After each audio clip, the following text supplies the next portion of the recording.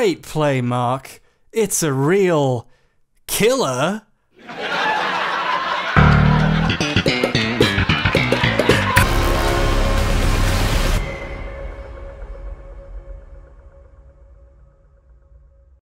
Pathologic is one of the best and smartest games that's ever been made. And you know that's true because no one's played it. Okay, that's not quite accurate. A fair amount of people have tried to play it. The Steam release has achievements, and there's an achievement for surviving the first of the 12 in-game days. A day lasts about 2 hours. According to its global gameplay stats page, just 13.2% of all players made it that far. The achievement for day 1 is called I'm Not Dead, it's just that kind of game. It occupies a certain kind of space in game criticism. Some game critics, mostly the ones who are.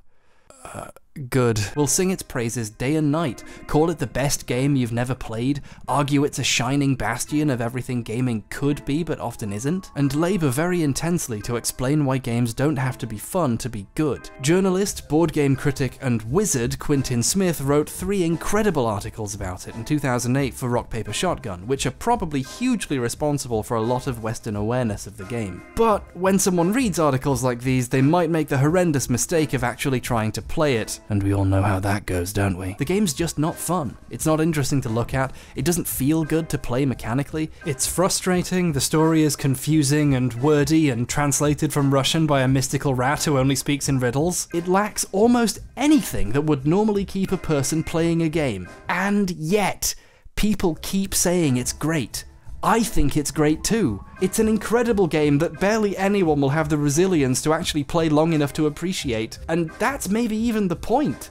So, this time, on the assorted mess of unrelated concepts that can scarcely be called a YouTube channel, I'm going to talk about all the things I find particularly interesting about this game and what they bring to making it so unique. I'm also going to talk about the problems it has that prevented it from seeing mainstream success, and then give a spirited defense of half of those problems anyway in the name of their artistic value. It's not a bad game, it's an amazing game. But it's also a bad game. It's a major time investment too. In many ways, it's a more interesting game to discuss than play. It's possible that Pathologic only exists so that we may speculate about it. So in a way, making this video is really for my benefit more than yours. I played over 60 hours of this thing, I have almost 600 gigs of pathologic footage on my hard drive, I get to make a video about it! That was the deal! Part 1. What is pathologic? Probably should that should have gone in the intro. On the surface, it's a very easy game to explain. Pathologic is a first-person survival horror RPG with story-rich and atmospheric. Doesn't it look fun? It's set in a town deep in the Russian steppe at some ambiguous point in the last hundred years. And by ambiguous, I mean imaginary. There are guns, but they're kind of old-timey types. A lot of the decor ranges from the late 1800s to early 1900s, but there's some baroque-looking buildings lying around. The town is built around its meat industry, so there's bulls everywhere. But the abattoir is some kind of huge, ancient building fused with the earth, and its workers live in a huge housing complex that looks nothing like the rest of the town. And some buildings are actively impossible, like these staircases to nowhere. And then there's the polyhedron, a giant floating tower that cannot be, sticking out of the earth Earth suspended by unknown means and made partially out of its own blueprints. So, yeah, I'd say the time period's pretty ambiguous. You play as one of three different kinds of doctor who each arrive in the town for their own reasons, just at the beginning of the outbreak of a horrible plague that threatens the entire town and probably the world if it manages to spread. The doctors have 12 days to get their shit together, save the town, and somehow survive long enough to do that. In some ways, it's kind of an immersive sim. You have an inventory, weapons, clothes, and items. But look at the wording of these items. It's not food, it's rations. It's not medicine or healing, it's drugs. And what is other? Well, that's where you keep less common stuff you can use or sell, like hairpins and bracelets and flowers you picked. And are those human organs? As soon as you hit new game, it becomes clear that any simple description of its basic genre conventions doesn't capture how the game actually feels. The three playable characters, the Bachelor, the Haruspex, and the Changeling, aren't simply chosen by a menu. So, it's all about trickery to you? Wherever have you come from? No, no. I detest trickery. But if we ourselves are to suffer deception, our hands are no longer tied. Where are we? We open in a theatre, which you actually visit in the game world later, looking down on all three characters as they argue on stage over who is best suited to solving the problem. I can do miracles. Just let me.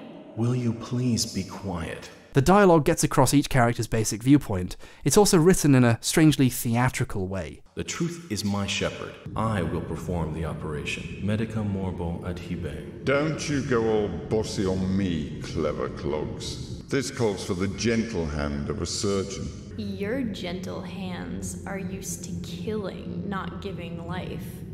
You will inevitably do harm. As for Brainy, he has no regard for casualties at all. It sounds written, it's not even trying to be natural. It's like you're watching bad actors stumbling through their lines while rehearsing for a play, which you are.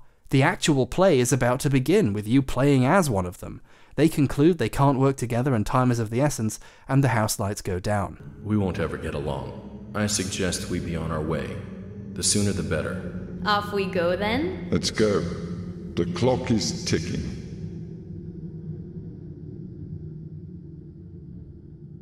When you go to leave the theatre, then you get to choose which one you play.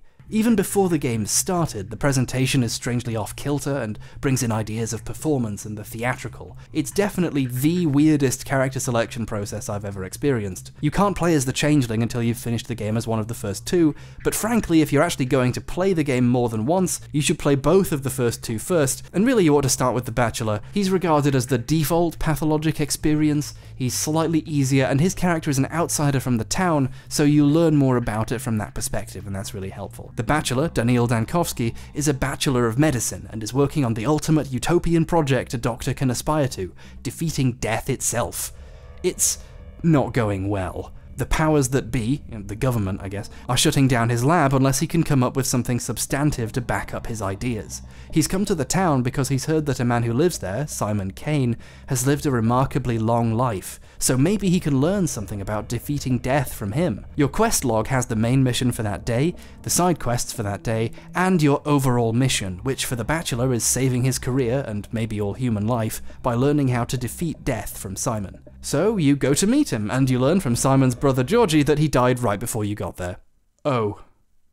Well, Georgie asks you to help him find out who or what killed him. Luckily, you think you have a lead on how he died because he met with a town community leader, Isidor Burakh, right beforehand, and he was a respected local cultural figure and the town's head doctor of sorts. So they might have discussed his health or who might have wanted him dead. So you go to meet him, and he's dead too. People are speculating about a serial killer or a demonic steppe creature of myth, the Shabnak Adyr, being responsible, and then you start to notice signs of a plague and it becomes clear it probably killed both of them and is about to kill everyone else. For days and days, as the lives of people in the town and your own odds of survival get worse and worse, that original quest, Dankovsky's bright-eyed, naive mission to defeat death itself on his way to meet a dead man, will stare you in the face every time you open your menu and check your mission. For Dankovsky, this message doesn't update when saving himself or the town become his priority. For the rest of your sad life, you have to deal with being reminded that you came here for something completely unrelated. So, yeah, get used to that. Pathologic's not a game about getting answers or resolutions to your personal quests or even about being heroic. It's not a game about feeling safe or having fun. It's a game about Part 2 Futility and Disempowerment. You might be wondering why I'm reading the words out when they're on the screen, and that's because some people like to listen to these videos instead of watch them. I put a lot of effort into my visuals, but, you know, that's fine. So I think an important way of explaining the features and effects of this game is to talk about the first thing that'll probably happen to a new player. You start the game in the house of Eva Yan, who's letting you sleep upstairs. She tells you that she's heard noises outside and there's some strange men hanging out in her garden. Oh, I know how games work. This is a tutorial quest. RPGs sometimes have easy early quests that act as a sort of microcosm of the game, a tutorial for how various mechanics work. So you go outside and you're greeted by these strange boys these aren't the characters hanging out in her garden, these are more tutorial figures. These are characters that pop up a lot in the game, tragedians and executors. These are their costumes, they're actors at the local theatre, performing plays and so on. But executors also perform important roles during the plague, like getting posted up outside the houses of important sick people to relay messages. Given that the game is already being framed as one large theatre performance with you as an actor, sometimes they break the fourth wall. Like right now, where they're telling you, a living human person, how to live in the world. These characters teach you how the basic mechanics work. Time advances no matter what, so if you don't do the important things you're supposed to be doing, other people will have to do them for you and might get sick. And you might need them not to get sick, so maybe don't let that happen. Your reputation is important, so don't start too many fights. Eat food so you don't starve and die, and so on. This game came out in like 2004, so the idea of having to eat and not die and time mechanics was actually pretty unique for the time. This is executed in an awesome way. Look at how this tutorial is framed. This conversation won't take too much of your time, especially since time stops during dialogues, and our dialogue is extremely important. You need to know how to play after all. What are you talking about? I'm neither a gambler nor an actor. He doesn't understand what the tragedian means by play. The tragedian is talking past him to you, so that you know the mechanics, but the Bachelor has no idea why someone's telling him this. Need I remind a wise man like you of the fact hunger is sated with food? Food can be found in shops. The Bachelor is having the weirdest conversation of his life. The fourth wall breaking stuff in this game is genuinely the best. Anyway, what's next? Ah yes, the side quest! So you go around to see about the men in Eva's garden and get a cutscene showing them, and you realise one of them is a creepy looking, inhuman Worm Man. Great, another thing I'll have to figure out later, I guess. If you try to make them leave in a threatening way in dialogue, a fight starts. The way fights work in this game is you get beaten to death in a matter of seconds and the game is over. Oh. Oh, jeez. Hello again, you two. Ah, oh, no need to be so dramatic. Actually, no, that's your job, isn't it? In Pathologic, combat deliberately feels off. The game has fighting mechanics in the same sense that a car being driven off a cliff has flight mechanics. Punching is slow and plays a random animation with a different length before the attack actually goes off, and its range is highly deceptive. The range enemies have with their attacks is hard to decipher as well. It's very swimmy, like there's lag in a single player game, you have to learn to intuit exactly when to close in for your attack to hit, and when to step back and not get killed. It's quite hard to be good at fighting in this game. The game does everything it can to stack the deck against you if you get in a fight. The muggers who spawn at night open their combat with you by throwing a knife at your face, which no joke deals like 90% of your health in a single hit. No one gets distracted by guards once they pick a target, they just keep going for you while the guards chase them and hit them in the back and they seem to only reliably drop loot if you're the one who kills them. You can right click to trigger a blocking animation, which is pretty cool. It doesn't actually do anything though. Guns are eventually an option. They kill in one or two hits, but bullets are super rare, they're really expensive, and you have a tendency to miss even when you're pointing the gun right at someone's head. I don't know, it just feels a little weird. But this actually works in the context of the gameplay because it further disincentivizes you in doing combat because even sure bets like bringing a gun to a knife fight are never really that sure. Fighting always feels like a risk and it instills that you're not really supposed to live through this game while getting in tons of fights. You're never handed satisfaction or enjoyment from fighting, which normally is the sort of thing that's the most visceral part of a game experience. The game knows this too and likes to throw challenges designed to hurt you and not be satisfying right in your your face. Once you're past the point in the game where you're very likely to have a revolver, a weapon with six shots before a very slow and vulnerable reloading animation, a side quest pits you against seven guys and you have to stand still to open the menu, which doesn't pause the game, to unequip it to switch to anything else. It's like the creators are laughing at you, seeing what deliberately weird, difficult thing they can put in front of you and have you still actually do. This whole fight is optional, so really, it's your fault if you decide to try a dozen times to shoot seven people with a gun with six chambers. Remember how I said early quests in games are like a tutorial? The lesson of this tutorial is you're gonna die if you make bad decisions. Heck, you're still probably gonna die if you make good decisions. Fighting is hard and punishing, especially against more than one person, and realistically you wouldn't be seeking out fights like this. You should be trying not to get killed first. A 2 on 1 fight in the first 2 minutes of the game before you know all the quirks of its combat is a death sentence, and the developers know it. They put this fight in here to teach the player lessons about how they should be thinking about the idea of fighting, or on the whole taking unnecessary risks. Death is cheap, and your health is expensive. I mean that literally too. How do you get health back? Simple, just rest in a bed for a few hours and... Oh. No, that does nothing. Actually, it just made everything worse. My hunger meter's gone up now. Okay, I'll eat an egg and... Oh no, that's, that's, that's not gonna close my wounds. It's an egg. It made my hunger go down. But wait, it only made it go down a tiny amount. And that was all the food I could afford. Oh, I'm fucked. The only reliable way to heal is to take a painkiller like Meridorm or Novocaine. These are expensive, but they cause you to regain health over the course of a few in-game hours, which is agonizingly slow, but it works. They also cause a lot of exhaustion, which also raises over time while you're awake and causes you health damage if it maxes out, just like hunger. There are items that heal you without any downsides, tourniquets and bandages, but they don't heal you that much. They're pretty hard to acquire, and they're worth enough money that you might as well just sell them and buy some more delicious eggs. Basically, in this game, taking damage hurts. After retrying a few times, if you manage to kill the two people in this fight, the items they drop are barely worth the health you lost to get them. You get a couple of bullets, like literally a handful, and you don't even have a gun to use them with yet. If you used the weapon you started with in the fight, your scalpel, it's taken durability damage and is now already less effective, and you'll have to pay to get that repaired. Oh yeah, weapons lose durability and effectiveness in this game, and they do it super fast. This fight is barely worth doing. When I was playing, I just reloaded and let the guys get on with whatever they were doing. They're on the run from the law, whatever, they'll be on their way soon. It's their problem and they're not interested in you or Eva anyways. You can even ask them what the deal is with this guy. He's just one of the locals. Some of the people of this culture are just physically different for some reason. For me, the canon choice my bachelor made was to leave these guys alone and just let them go away. It's fine. It's not worth it. This opening is an exercise in disempowerment. You're not the main character of the story. I mean, first of all, there's literally two other main characters, but on a deeper level, you're not special, and sometimes you have to keep your head down to survive. You are nobody's hero. Your character's stats page is a really helpful way of keeping up with all 8 of the chokeholds the game has you in. Reputation goes down when you start fights, kill people or other generally immoral things, and goes up when you do good things, like in quests, or killing muggers, or giving money to the poor, or medicine and alcohol to the sick.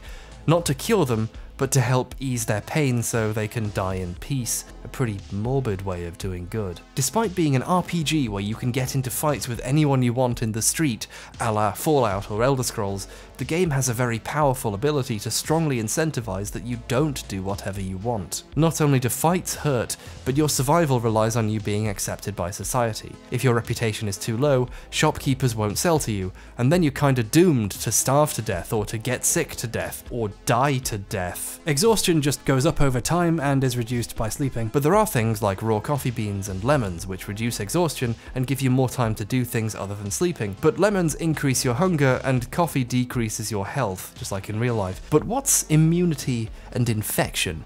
Well, immunity is your ability to resist the plague. Kind of?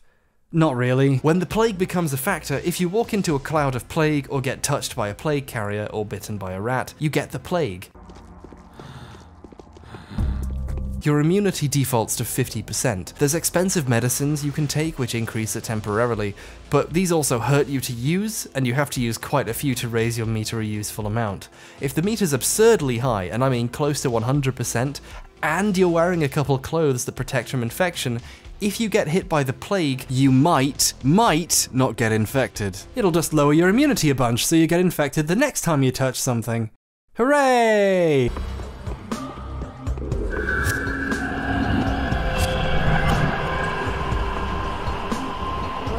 If you get infected, you start to lose health over time, and occasionally your camera gets all wobbly and distorted, and your infection level starts to raise non-stop, and as it gets higher, the effects will get worse. And if you get too infected, some NPCs will try to kill you with fire. There are antibiotics which decrease your infection level, but these also hurt you to take, and are also expensive, and don't actually stop the plague once you're infected. How do you cure the plague? You can't! Fuck you! Don't catch the plague, shithead! That's not really up for discussion, is it? It's a fucking plague. Plagues are really bad. Statistically, in Europe from 1200 to 1800, roughly 100% of all living people died of the plague. Okay, there are items that can cure the plague, but you really want to not be wasting those. The game's about curing the plague, so you kinda might want to not use those on your personal status effects. If you get infected, either load a save, or prepare to have one extra thing to worry about for the rest of the entire game. There's one other important meter you'll need to keep a close eye on as well. Time. The clock doesn't wait for you. Every day has a main quest, and you have to complete the quest on time, or someone else has to do your job for you. And they're not as good at your job, so... The night has come. the most pressing endeavors of the day were fulfilled at the expense of several lives of your bound. If you don't complete a quest in time, the story advances without you and one of your friends gets sick, which means you won't be able to talk to them unless you give up some of your medicine at the door to keep them upright for the day. Some quest lines take place at certain times too, so you need to keep an eye on things and plan ahead. Between all this and reputation, the game imposes a horrible feeling of dread on the player, a pressure that never really lets off. There are so many things to manage, to think about, just to stay alive. And that's not even getting into the story you're trying to progress while you do all this. You're always on the clock, and almost always need to be in two places at once. And as you navigate the town to get where you're supposed to be going, you get more and more aware of how slowly you walk. You can't run. It's just this. It's horrible. You're not a character in a fun RPG, you're a person, traveling at frustratingly person-like speeds, trying to outrun about 8 different ways of dying. This is one of the first truly divisive things about the game, the walk speed is slow, and most of the game is about walking from place to place, walking to buy food, walking to buy medicine, walking to the trash can to find things to trade, walking to talk to people, and walking to the theatre to see it predict all the walking you're gonna do. Speaking of the theatre, every day after midnight they rehearse a new play. These often comment on what happened that day or predict the future in quite interesting ways. People only fear bloodshed when it's their blood and their shed. Yeah, that's right. Stay out of my shed. What the fuck are you talking about? And as the plague spreads, you start having to either take longer routes to avoid infected districts, or start risking infection and having to load saves and lose even more time. This is not fun. Or pretty. It's just walking. I've had people tell me the walking is what turned them off, it takes so long to get anywhere. Even if you're not in immediate danger because things are going well, you're still giving up a lot of your time going places. And the clock is still ticking down. So you're always racing, and you're always racing slowly. But this is also the point of the game in Microcosm. It's not supposed to be fun on its own. Here's a head scratcher. Are games supposed to be fun? Maybe, but should they always be? Is that the only reaction games can or should explore creating in their players? Well, I think it's useful to at least experiment. This boredom isn't a bug, it's a feature. It adds even further to this sense of disempowerment. It also has a profound emotional effect. As you get increasingly aware of your impending doom and how limited your abilities to get things done really are, even walking around becomes tense and stressful. Pathologic is the subtlest survival horror experience I've ever played. The act of standing still in the game makes me nervous. I'm wasting time. Oh shit, it's 3 o'clock, I have to be somewhere. After a while, even the process of the travel starts to really get its hooks in you. Once you get used to it, there's nothing quite like it.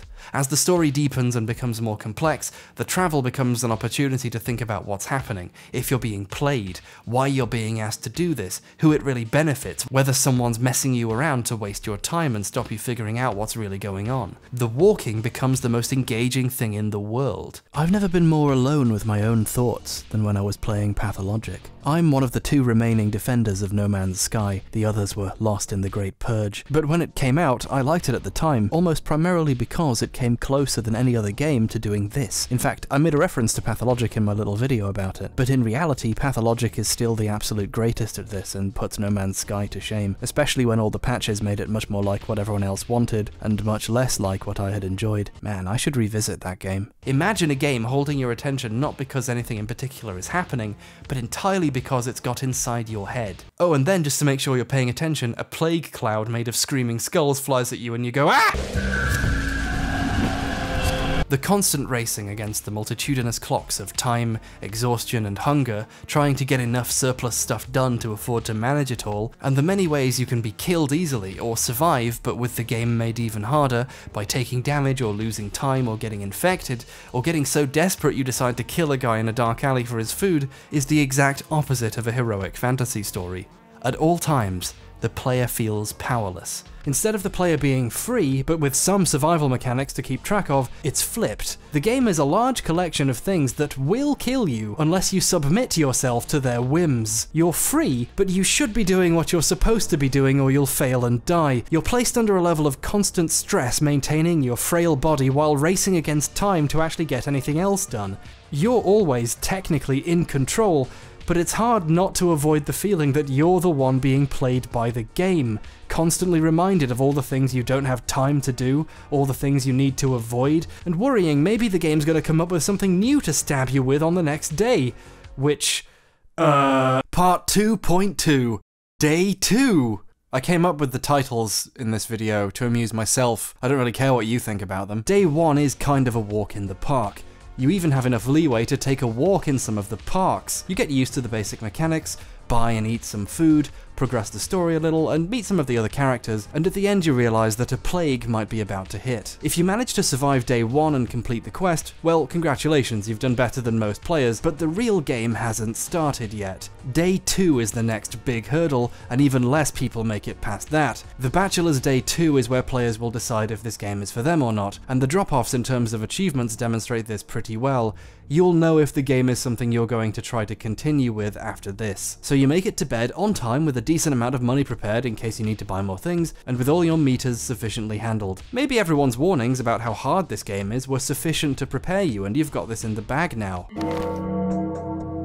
On the morning of day 2, prices rise tenfold. The money you started the game with is no longer enough to buy a single delicious egg. The plague hasn't properly hit yet, but word's got out there's an outbreak coming, and people are stockpiling food and medicine. Not only is being able to afford food suddenly a much more pressing question than you expected, any food you do have on you doesn't seem like a good idea to eat. I mean, that's a lot of money you're holding. To make matters worse, the town's governor, Alexander Saburov, won't agree to do anything about the plague because he'll be seen to be overstepping the mark if the other rulers of the town don't agree on there being one. So a plague is starting, but no one with the power to take proper action will help because everyone has their own agenda. So you spend a good deal of the day with your hunger rising and no sure way to solve it because your money is worthless now, running around trying to find enough proof to get all three of these groups to agree there is a plague and to give Saburov the power to start making emergency orders. Your main quest is getting these warring factions to agree that the obvious problem exists. Along the way, you pick up two side quests.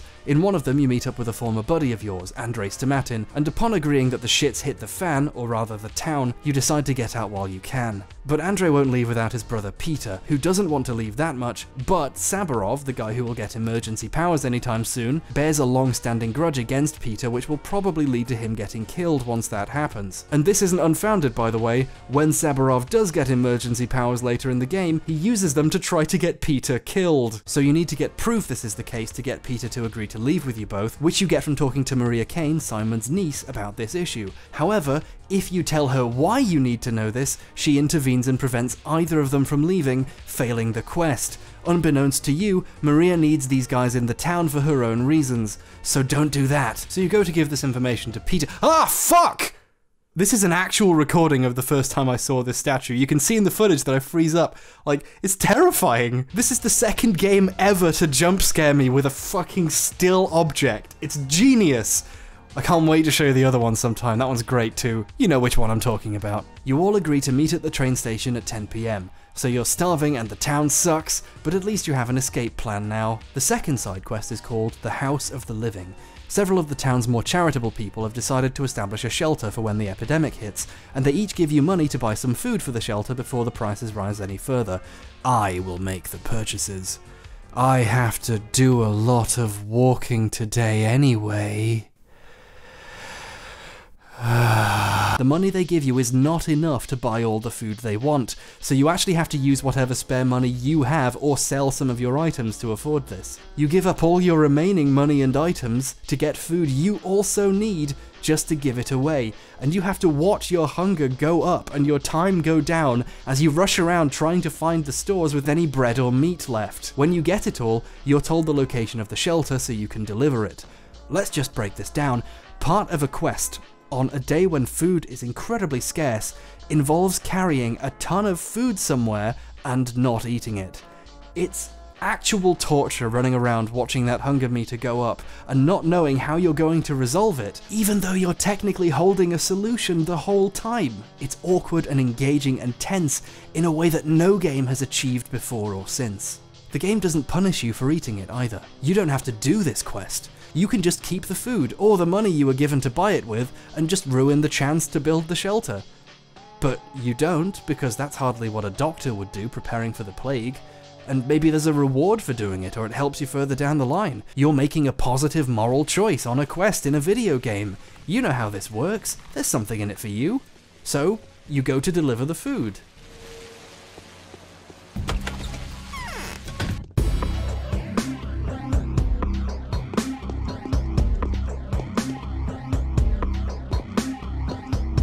The house has already been hit by the plague.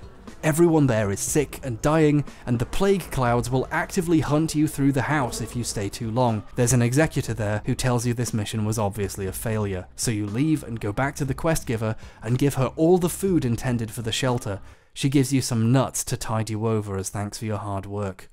The reward for successfully following this quest to the end is dramatically worse than the money or food you could have just run away with. At the very least, this quest results in finding proof of the plague, so the part of the main quest where you go in search of a plague-ridden house is at least solved by this too. If you do the main quest instead though, you get a genuinely terrifying encounter where as soon as you realise you've found a house filled with women who have the plague, once you try to leave, it spawns two more right where you just came from, and they try to grab you to appeal for help, and give you the plague if they do, and you just have to dodge past them. It's genuinely super scary and just emotionally awful. You're just abandoning these women to die. It's a horrible nightmare, which thankfully you cannot do if you did the House of the Living. Finally, Saburov has the power he needs to start establishing hospitals under quarantine, rationing food, distributing medicine, and so on. And he even gives you a gun. So it's a day late, but things are finally where they should have been already. Perhaps too late to prevent a full on outbreak, but better than nothing at all. You can defend yourself a little better now, at least. Luckily, you're getting out of here soon. So 10pm rolls around, your quests have been one major failure, and one minor resolution to a power squabble that you're sure will heat up again tomorrow, and you haven't eaten anything, so you head to the train station. When you get there, you find guards blocking the trains. The Stamatin brothers are nowhere to be seen, they just didn't show up, and according to the guards, no one can enter or leave the town now because it's under quarantine thanks to the emergency powers you helped Saburov get. You just trapped yourself in the town. If you try to talk your way out, all the guards attack you, and you lose reputation for killing them because these guys were just doing their job. Best of all, there's an executor standing there. This one doesn't say anything, and seemingly can't be seen by the other characters. He just stares at you, letting you know he knows how dramatic the irony is, laughing at you for thinking you can just leave the town. So you're trapped, and you're starving. In the middle of the night, you go to see a play being rehearsed at the theatre. The play's about how you're fucked. Bad news. The governor will abuse his power. When the morning hits, the game nonchalantly says it all ends in less than 10 days. Exhausted from a day's being a pawn in someone else's power grab and scrambling for resources for a quest that was doomed, and starving half to death, you eat one of the nuts. Great. You're completely fucked, and you're on day 3. Day 2 is excellent game design. It's deeply engaging, watching your attempts to get anything at all done get frustrated, and it also sets a general tone for the game. It does the special game design trick that I like to call recontextualizing. Players come to games with their own expectations and understandings of how a game is supposed to work and feel and play, a certain general set of ideas about what all this is supposed to be like. If you're playing an open world RPG, you know what dialogue trees, shops, trading and hunger and time mechanics and moral choices are, and you think you know how they work. Day 1 partially plays into this. It takes pains to show how fragile you are and all the work you have to do to not die, but it's doable, it makes sense, it doesn't feel that much different from a normal game. When the prices rise so massively that money is effectively worthless, and you were given no warning this would happen, everything about how you relate to the game experience is thrown out the window, and you feel that happening in your brain as you play and realize what just happened. Walking around while slowly starving, getting rid of the rest of your own items to try to get the food for a doomed quest, carrying food you can't eat around, and wondering when you will get to eat, and watching your meters inevitably rise as you race to help the town and only barely achieve anything, you start to make realizations about the scope of this experience. You weren't playing a game with the mechanic where you have the option of using money to buy things. You were playing a game about having no money. You weren't playing a game where you have to eat food to survive. You were playing a game about starving. You weren't playing a game where you can choose what sort of morals you have. You were playing a game about how betraying the people who trust you is better for you than trying to be a hero, and doing the right thing is an exercise in getting your time and energy and money wasted. Survival horror RPG? Lies. You are playing a pain simulator. This is a deeply masterful trick I've seen very few developers pull, where commonly understood mechanics are twisted in such a fashion as to force the player into a specific mindset and relationship with those mechanics, and everything straightforward suddenly becomes different and off. Once day 2 happens, you no longer have any idea what's coming. Money turning out to be virtually useless, the growing threat of the plague, who knows how bad things will get in the next few days. Even though the game doesn't get that much harder, and technically the game isn't that hard if you know what you're doing, this sequence of experiences fills you with dread for what might happen next. And the game doesn't stay this difficult forever. The point isn't how hard the game actually is if you measure it objectively, the point here is how the game makes you engage with it.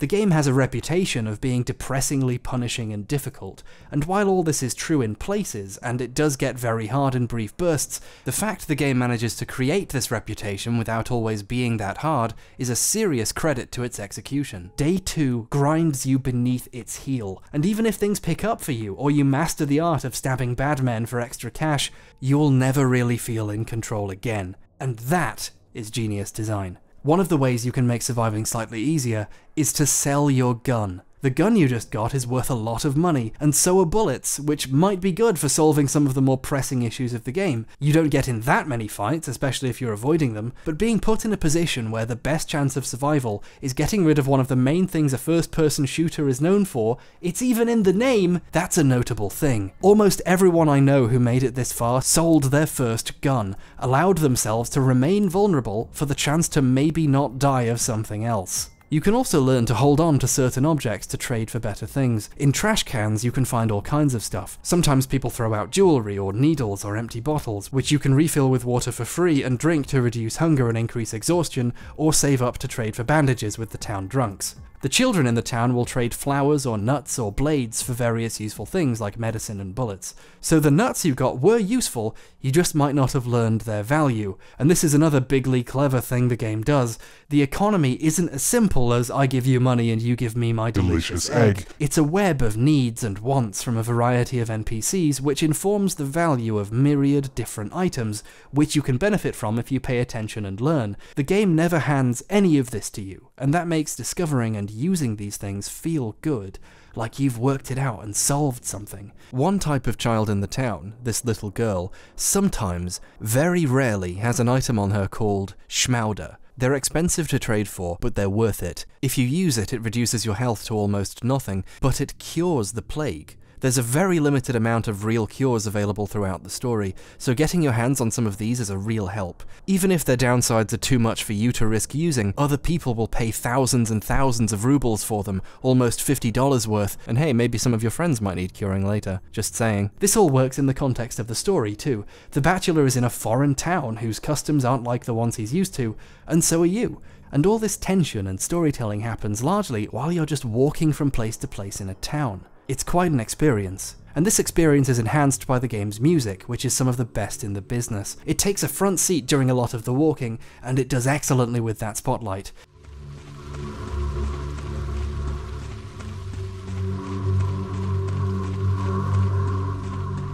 It's intensely atmospheric and moody, and when it needs to be, it's strange and unsettling.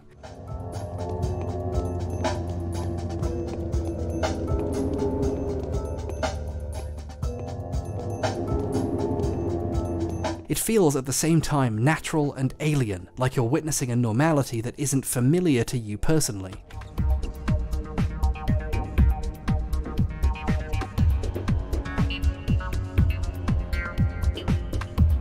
Synths are used alongside more naturalistic drums and rhythms to further destabilize the setting. The music even evolves with the story. Each main region of the town has a theme, and when that area gets infected, its theme changes and becomes even more strange and distorted.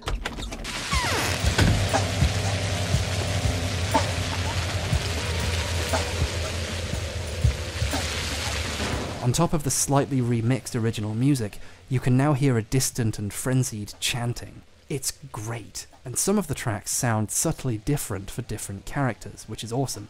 The opening theme is a real banger too.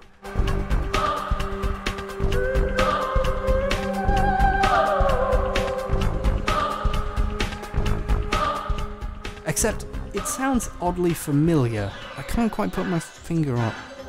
Oh. Oh, damn it! Part 3 The Writing. By now, if you've been pausing to read the text for some reason, you'll be very aware of how strange the writing is. And whenever you begin dialogue with someone, they actually say something out loud. When we do not find peace of mind in ourselves, it is useless to seek it elsewhere. Truth does not do as much good in the world as the appearance of truth does evil. Oh wow, that's a good quote. I'm going to use that in a future video and pretend a philosopher said it. Watch out for that. Everyone's very wordy and flowery, talking about their dreams and visions, and sometimes it's hard to tell if you're discussing philosophy instead of the task at hand. The game has a very specific writing style, one more evocative of your typical novel than other games, and it is, in my opinion, very well written. It succeeds in making you feel transported to a world where things aren't as simple as they seem, where dream and metaphor are entangled with reality. If a sentence feels strange or hard to follow, it's doing that on purpose to make you feel weird, like you have to put effort into understanding. Instead of simply telling you you're a small part of a strange universe, it makes you feel that way by refusing to pull its punches with the ideas it's meditating on. Try this on for size. Do you believe in prophecies, Andrey Stamatin? It depends. I agree this may seem inconsistent with materialism. On the other hand, when your own experience convinces you to their effectiveness, you have to take them into account. I wonder that myself. For a moment, I thought he was driven by the same feeling that I am. A great man, when unexpectedly betrayed by the people he loves, will often seek to fill the whole universe with his blind spite. Yes, the feeling is indeed familiar. No one talks out loud like this in real life, but that's not a mistake, it's part of the point. You're stuck in a world where people do talk like that, and have to untangle it to make sense of things. It's very hard to call this game pretentious, because not only does pretentious mean affecting a greater importance than is actually possessed, and the game definitely does say important things, but it's also too self-aware about how all this looks, and it loves to make fun of itself. The plays make fun of the characters and plot and writing style, the cool fourth wall breaking executors complain about how unwieldy their outfits are. It's lovely stuff. While this video is definitely going to spoil lots of the plot, there's lots of really interesting aspects I won't have time to go into detail about. If you want a more complete breakdown and analysis of the three characters' stories, YouTuber Sulmatul made a great video doing so, linked in the description.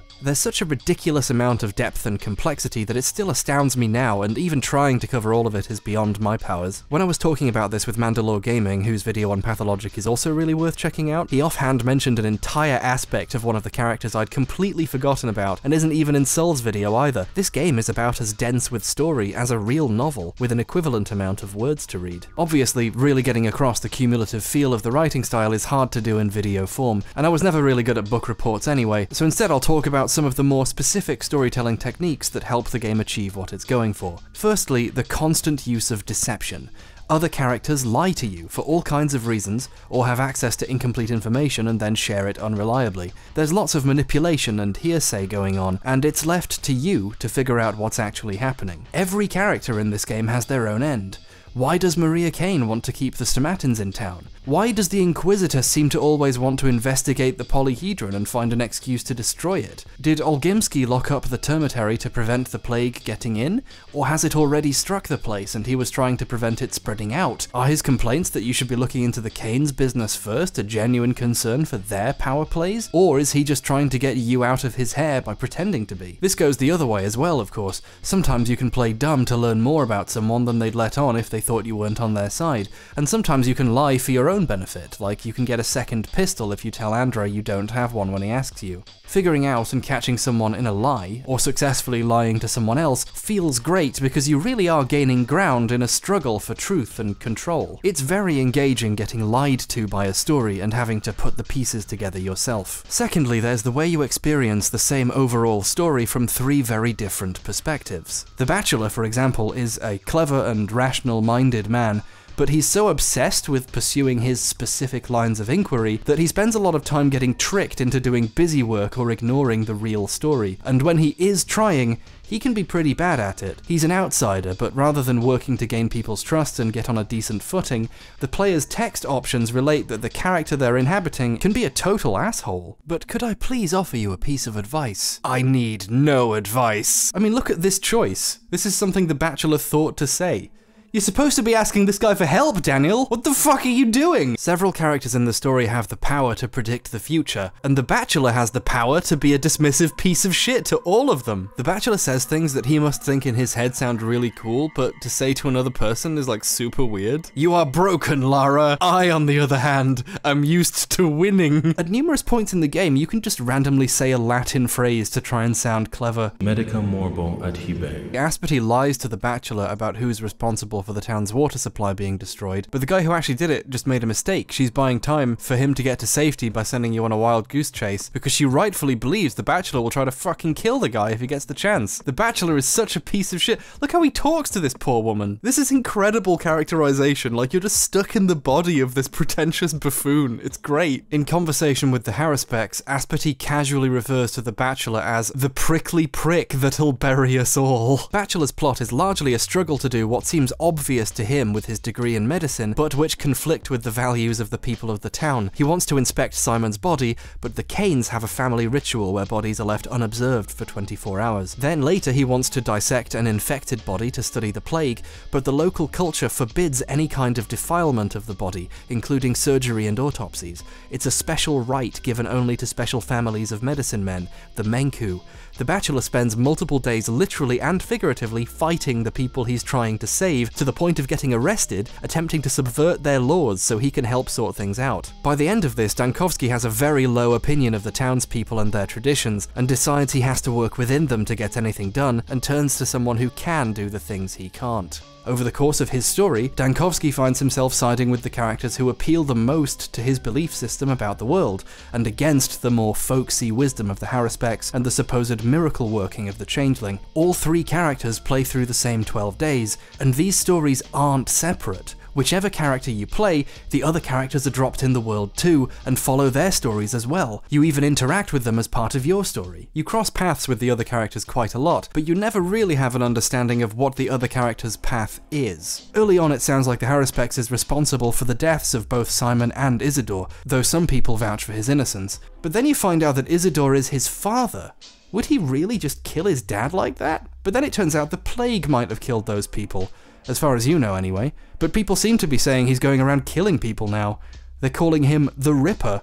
I'd wondered if maybe you play a serial killer in his plot. When you talk to him, he seems reasonable and like he's trying to make a cure for the plague, a panacea.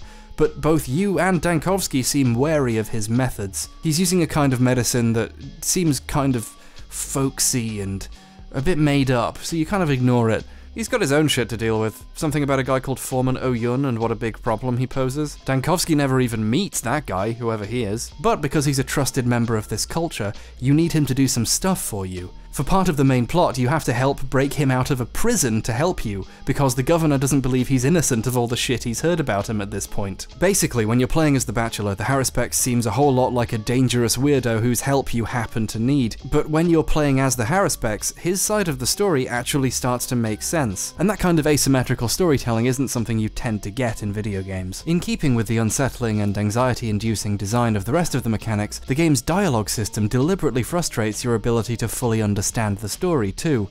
When you're talking to someone, you often have the chance to ask questions or make observations, but often in a chain of dialogue you can't come back to. There aren't really dialogue trees here. You ask one of several things and that's your lot. Sometimes dialogue choices exit out of the conversation with no way to go back and progress it. The only way to learn absolutely everything you can is to load a lot of quick saves around dialogue, or try to only ask questions you think you don't already know the answer to. There is absolutely no way this wasn't intentional. The game wants you to feel trapped in dialogue, so you have to think carefully about what to ask, and if you can trust those answers to ever learn anything, and you can't go back and ask the other without the inconvenience of loading a save.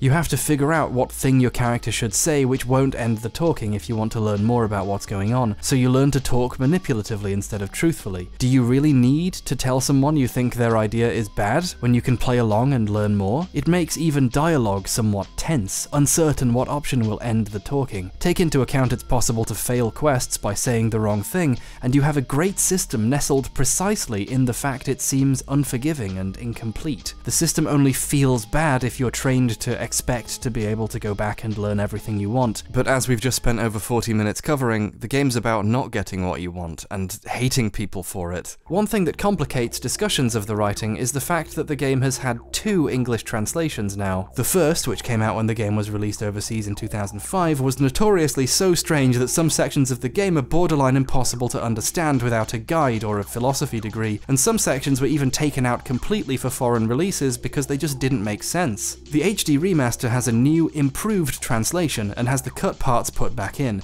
It also has new voice recordings, which is good because the last ones weren't great. Your sensitive hands kill more often than present life. You will inevitably cause harm, and this smartass won't consider the losses at all. You both lack mercy. See, that's just not fitting at all. The changeling is an ambiguously magical little girl, not an evil elderly crone witch. Simon, the land has cast out a monster from the bowels to bridle his impudence. Katerina, oh sorry, she's Katharina in this version, is one of those clairvoyants I mentioned earlier, but she's also whacked out on morphine most of the time. This voice really isn't appropriate for her. I need morphine. Yeah, that's better. The new vocalists are much more fitting, and better directed too. They would have had to re record the vocals anyway because the translation they were going from was pretty bad. For example, there's a cultural term the Haruspex uses a lot to refer to The Bachelor, uh, oinon. Go, Oinon. I need time to pick up my tools. Um, the original vocalizations, well, they left a little bit to be desired. Go, Onion! I need to collect the tools. This epidemic acts as if it has a mind of its own. This disease behaves as though it has a mind of its own.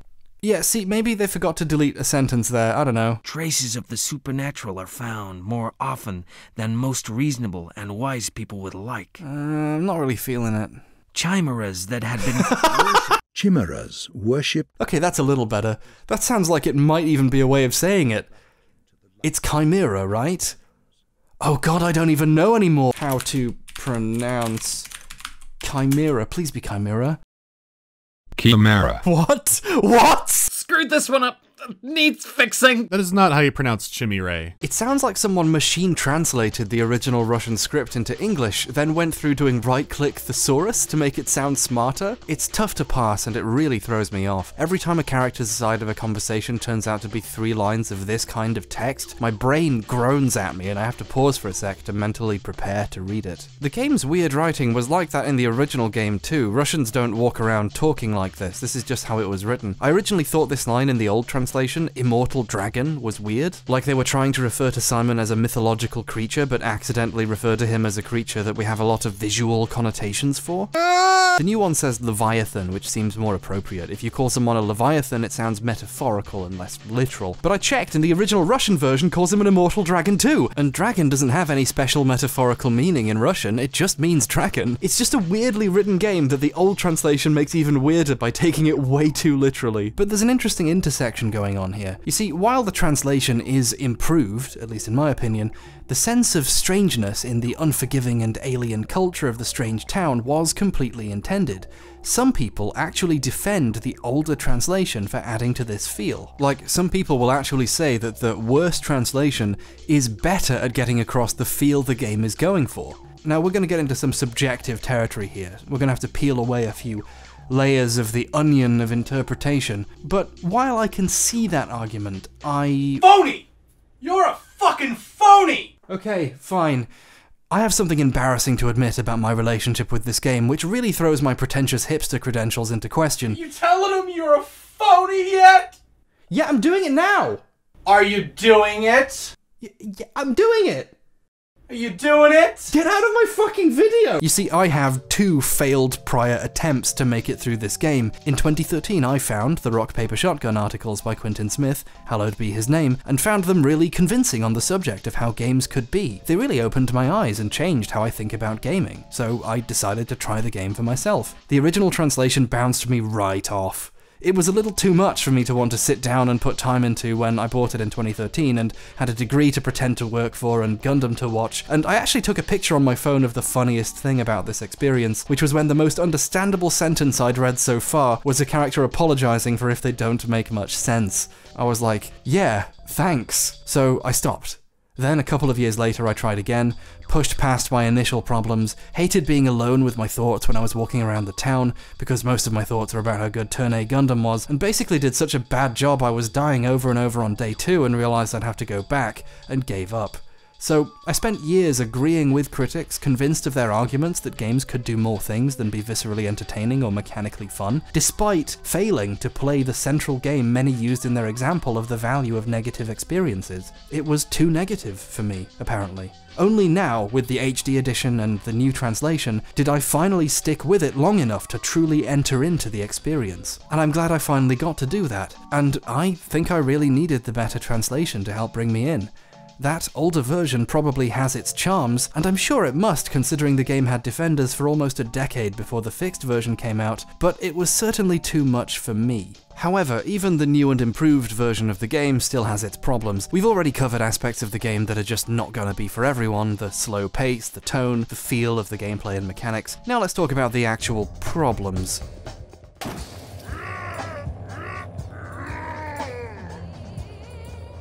Part 4 The Jank. One thing that's absolutely necessary to successfully progressing the story is to read your mail. You get letters from people over the course of the day, and the only way to know you get them is to know you get them. And the only way to read them is to hit the L key on your keyboard to open up the letters menu. The game doesn't tell you this. The game's tutorial, amazing in its own way as it is, fails to tell you one of the most critical things you need to know. If you don't read your mail, you straight up will not know what to do on some days. And as far as I can tell, nothing in the game tells you unless you check your keyboard options. This is a huge oversight. The game does do interesting things with not giving you proper information, like it never tells you that food prices are about to ruin your life, or it doesn't tell you that some of your quests will end in disaster and you maybe shouldn't have bothered or run away with the money. And if someone's not going to get to those moments because they didn't understand what they were supposed to be doing, or got annoyed they hadn't even been told a core feature by the game, it's a genuine flaw. Speaking of the flaw,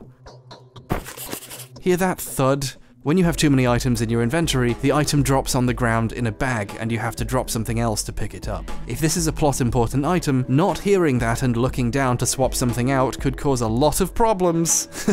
I think the game could have done a much better job of letting you know when you don't have room for something. This is a section from the Changeling story later on. I can't pick up this bag because my inventory is full, but the game has no way of telling me, so I'm just sitting here getting stabbed to death and then I have to load a save and drop something in order to pick this up. This isn't as critical, but it showcases the problem in a funny way. If you sneak up on a rat instead of letting them see you and chase you, you can pick them up and actually use them in rat races later on. But if your inventory is full, they just turn into a bag with a rat in it. If you can't progress the story because you dropped something, or you're too busy micromanaging what's in your inventory in case you get given something important, then you're being made to miss out on what's good about the game by a poorly implemented mechanic. Pathologic is already not for everybody, and the mechanical stuff like this only detract- Oh fuck! The mechanical stuff like this only detracts from what makes it truly unique. There's a lot of jank in the game. AI bugs out if you stand in the wrong place during fights, spins in circles or stands still and waits to die. You can get stuck in level geometry sometimes. The physics like to explode. The thing is, a lot of these sorts of problems are a result of the game existing at all. Like, you could spend a ton of man hours making the AI work perfectly in fights that aren't on completely flat ground, or you can get the game out before your team goes bust. And in many ways, much like EYE Divine Cybermancy or Vampire the Masquerade Bloodlines, the bugs are a good thing. They're they're a reminder of how much bloody work it took to whip this thing into existence with the available tools. I still shudder when I think about how to get the Source engine to do things EYE or Vampire did, and Pathologic's engine seems like it was made out of whole cloth. Do you have any idea how hard that is? Video games are hard to program. It takes years of work to make something good. Games, as a rule, even the stable looking ones, are usually at their core hugely hacked together to barely do whatever they do, and even what seems like simple, slight changes run the risk of absolutely obliterating everything you hold dear. So a lot of the game's weakest aspects feel like a compromise for the inability or instability of the engine. In the story, for example, sometimes characters interact. They talk or get one another to do things, but while you're present, characters are never doing anything. They're just standing where they're supposed to be standing, and you go over and talk to them, and you get the impression they're in the middle of doing it or taking a break or something. Sometimes characters meet up to discuss something or get attacked by soldiers and escape, but it's always just happened when you walk in and everything's already over whenever you're there. It's not super immersion breaking, but a little more interaction or being able to watch the characters do the things you're told they did might have been nice. Also, characters sharing a space together don't seem to regard each other. They either do their idle animation and occasionally say lines like they normally do just next to each other. Yes. Your face what is is there to talk away. about now? Are you sick or something? How's my brother? Any news on him? Or they're completely frozen in place. You never even get to watch a conversation between two characters. Even when they're in the same room, you talk to each of them separately. Again, these aren't things I would really criticize the game for. These are reflective of the absolutely minuscule amount of budget and time the developers had, and the limitations of their engine. These are things that it would have been nice to see working better, but aren't a huge problem when you're actually playing. There's other technical problems too. There's this weird bug where the screen's entire color palette shifts when certain effects are playing, like fires or blood splatters during combat. I'm sure there's a fix for this, but I decided to just live with it. It felt in the spirit of things to do that, but it's still very distracting and definitely not intentional. All in all, all the little things like this contribute to the overall feeling that the creators had lofty ideas for their story and world full of characters to interact with and environments to explore, but were limited in what they could accomplish. However, it's important not to confuse limitation with artistic choice, because some things in the game are easy to dismiss as problems, but work in the context of the story that's being told and the overall effect being attempted. On that note, we haven't really talked about the graphics yet. Visually, even for the time, the game was regarded as pretty ugly. Everything is a weird, angular facsimile of what it's supposed to be. The color palette is drab. Infected and dying districts tint things even uglier shades, and all the minor NPCs look the same as each other. However, I think that ugliness was deliberate and actually serves a purpose. Oh no, it's the pretentious police! They found me! Oh, Jesus Christ! The game is set in a dying rural town. The sky is never clear, everyone's sick, everything is depressing, and the filters that turn up in infected areas make everything even more sickly. The fairly low texture detail and polygon count do end up contributing to this look and feel in their own way. By being not much to look at, the downer tone set by the story and mechanics isn't thrown away by looking pretty. The game's art design when it comes to characters or the more interesting locations is imaginative enough that even if it doesn't look visually great, you can see what they're going for and understand what it's supposed to be at least. So, at least in my opinion, the art style contributes to the feel. I think it works that it looks like this and not otherwise, but I'm not sure if I'm happy with saying that because if the game had looked better, like if it was on par with Half-Life 2, I don't think I'd have been saying this should have looked worse, would I? It's one of those things where because it works well enough for what it is, I don't feel a need to complain that the graphics are bad, even though obviously they could be better. People can decide for themselves where the experience is improved or worsened by things like bugs or inventory stuff or the combat or graphics or translation,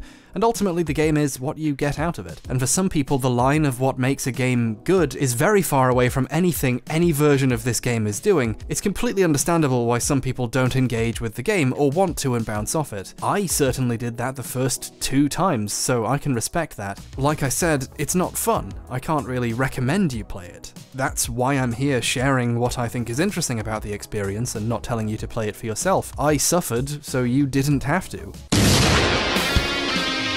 Once you get over the initial humps and learn to deal with the difficult elements, cope with the survival mechanics, and get good at walking, Wow, what a phrase. Get good at walking. Learn to do a repetitive, unsatisfying thing on your way to a goal.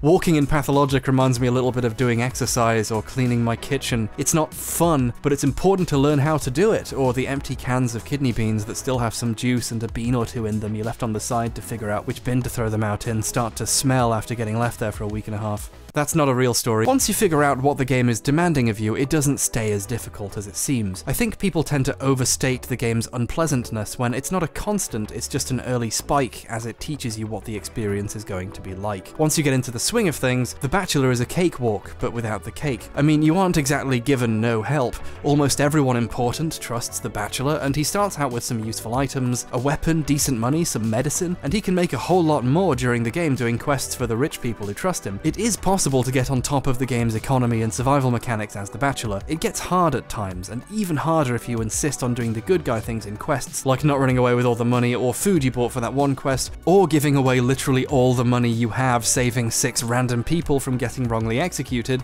which I didn't do. I loaded my save after this cutscene played and kept the money, and I'm a bad person for it. But even if you do all the good guy things, if you know what you're doing and take the opportunities that are given to you, you can make it through alive even while being a good person. The Bachelor's story is technically quite hard, but ultimately forgiving. It's a pretty balanced experience all in all.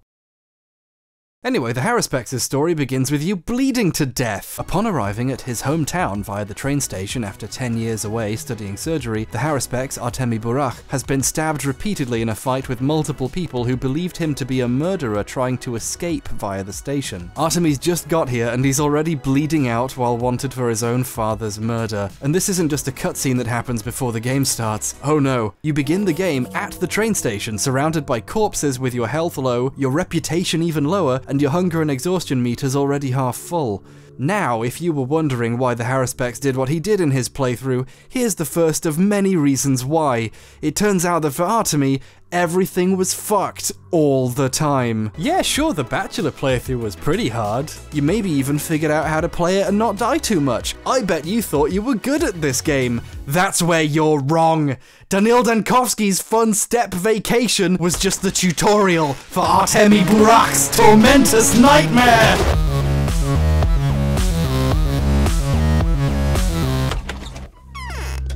Some people refer to playing the Haruspex as hard mode, and I must admit, at the beginning it is a little bit like getting stabbed in the dick, but after that it gets much worse. Remember that horrifying moral quandary as Dankovsky where you could risk six innocent people getting executed if you choose not to get involved in something that isn't your business anyway? The Haruspex has a moral quandary a million billion times harder, and it's his first quest. After getting chased into the warehouse territory by an angry mob, you go inside and meet a gang of children. This gang was there in the Bachelor's playthrough, but you only really visited them like once. They weren't really very interested in talking to you, and the Bachelor was too busy sucking up to the important people to care about a bunch of children. When you talk to Notkin, their leader, he says they have a rebel who stole something from them to defect to a rival gang.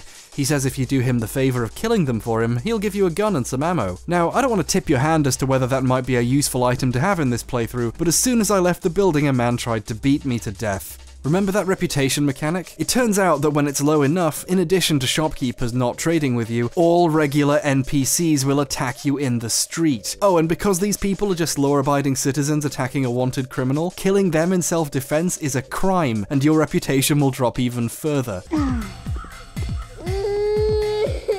So either you run away to preserve what reputation you have left and try to do good things to correct it, or fight back and make everything worse. Good luck, fucker! Have those guys seen me? Yep, they've seen me.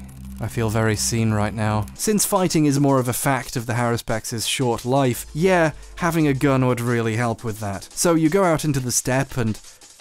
Oh. Oh, fuck off. Of course, this was a gang of children. Of course the rebel member is a kid. So you can tell him off and send him on his way for a minuscule reputation boost. And if you kill him, it drops a bunch because, you know, you've killed a child. But your reputation already can't get much worse, and Notkin's offer of a gun is a pretty big deal. And this kid has a shmowder on him. It's one of the critical items. It's basically the one thing in the game you can't pass up an opportunity to get. Plus, he's in a gang, so he knew the risks. So you can get a gun super early on in Artemy's playthrough, but at a significant moral cost. Obviously the kid is just polygons, but if you take the role playing seriously, or even just stop for a moment and ask yourself if you would do this in real life if it meant survival, there's a lot of feelings to unpack here. I mean, let's recap. In many modern RPGs, child murder is still a thing that won't even go on the table. Get on the fucking table, MacCready! Oh, I'll be back for you in Fallout 4, fucker, when you're old enough to die! In Pathologic, one of the most taboo things there is in gaming is one character's first quest, and there's significant personal justification for going through with it. You are dying, and you need the stuff you get for it desperately. You just have to find a way to live with the fact that you are now wanted for a murder you definitely did commit along with the one murder you didn't. Now, it's not all bad for the Haruspex. Okay, it is, but he gets one thing.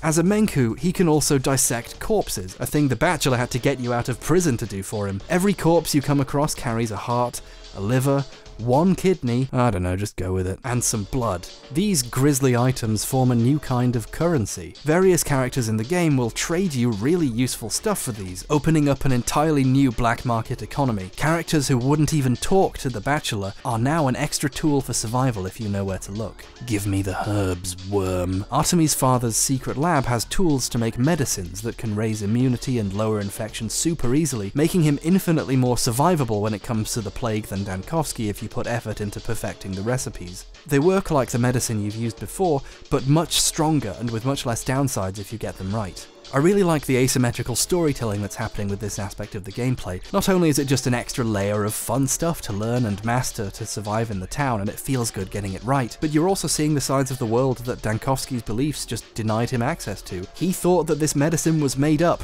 and here it is keeping you alive. Even if you get infected as Artemy, and actually it's really hard not to as him, it's much less of a problem because of all these herbal remedies you've got. But that's about it. So you're fucked. But once the plague becomes a problem, you can live long enough to be killed by something else. Like this great bit where as soon as you leave a building, it spawns two muggers outside and they both throw knives at you, which kills you instantly! At the very least, if you have to defend yourself and lower your rep, you get to keep whatever was in their pockets, and their meat pockets, and with the new economy maybe not being accepted by society isn't as much of a death sentence. I really do feel like Burakh doesn't enjoy unnecessary violence. He's an educated man, he seems quite noble in a way. He wouldn't do it if he didn't have to. It's unbecoming of his station. Wait, does that guy have a shotgun? Oh, getting a shotgun. One second. Gimme, gimme, gimme, gimme, gimme, gimme, gimme. Getting a shotgun on day one feels a little broken after how late I got one as the bachelor. But what makes it extra engaging is the knowledge that I'll probably need it. Selling weapons as the Harris Haruspex is even more nail-biting than before. Just because of the way his campaign is set up, you will need everything you could buy with that money even more desperately than before. But you also kinda need the what? Come on, what the fuck?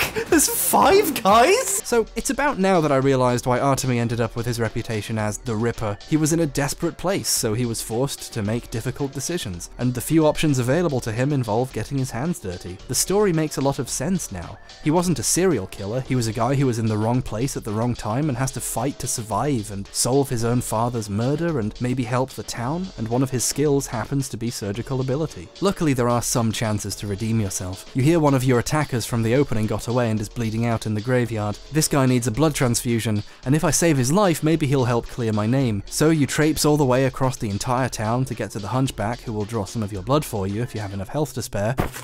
Pick it up. Don't forget to pick it up this time or you'll have to come all the way back again! And then take a long stroll all the way back.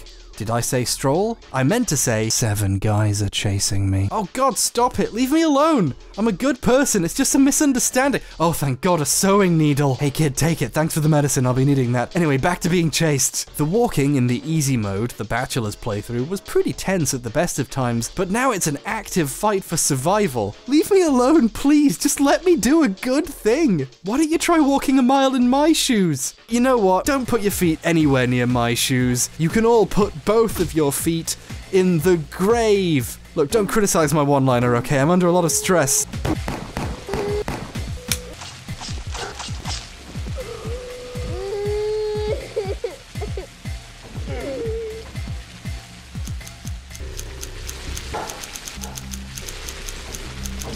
Ooh, a lemon.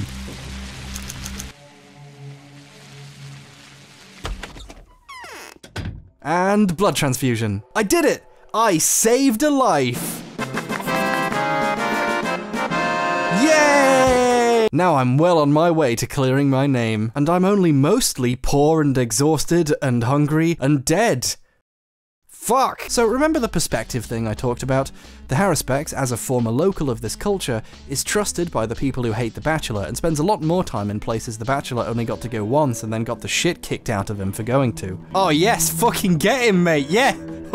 so you see a completely different side of the story, and of the town since you spend time being public enemy number one. The reputation mechanics basically didn't come up in the Bachelor's run unless you killed people for no reason, but now you have to face the problems having a low one poses and build it back up to survive. It's hyper engaging, not just because it's hard, but because you remember how it was before.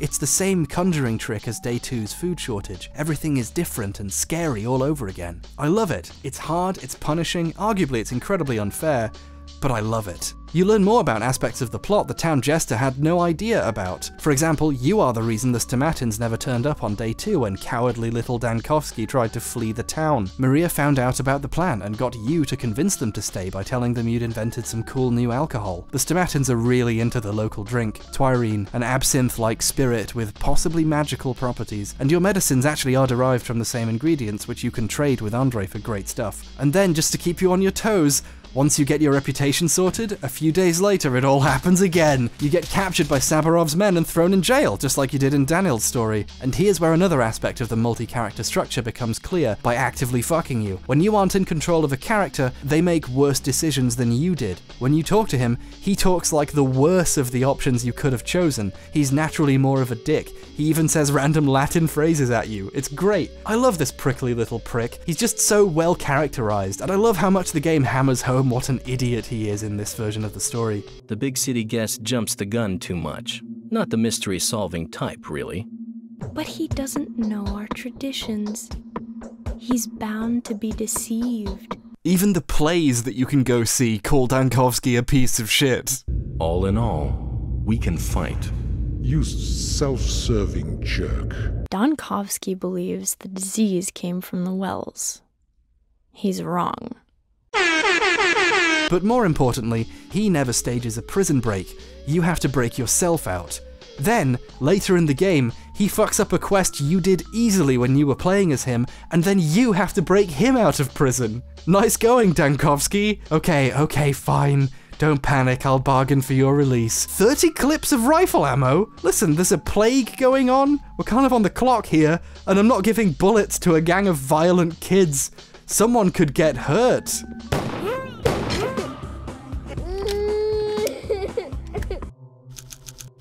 I did it! I saved the Bachelor! The Haruspex' main quests are to develop a panacea, an actual cure for the plague, to figure out who killed his father, obviously, and to assume his father's duties in the kin, the people of the steppe.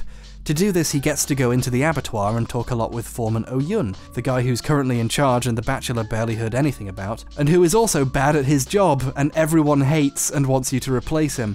He starts giving you trials to prove your worth. Two of these trials are he gives you a poison and you have to do something for him before you die of it. I'm not to say the trials are just tricks to try and kill you, but I don't know. Mm. The final trial is to jump into a big hole and die. Uh, I'm not really sure about this one, Chief. He says it's a spiritual experience, and your father did this too to take his place in the kin, but no one else says anything about any trials. By the way, uh, if you jump in the hole, you die. There is a spiritual aspect to Artemy's life in the town, though. When you're walking around out in the steppe, you can hear a cool, distant chanting now.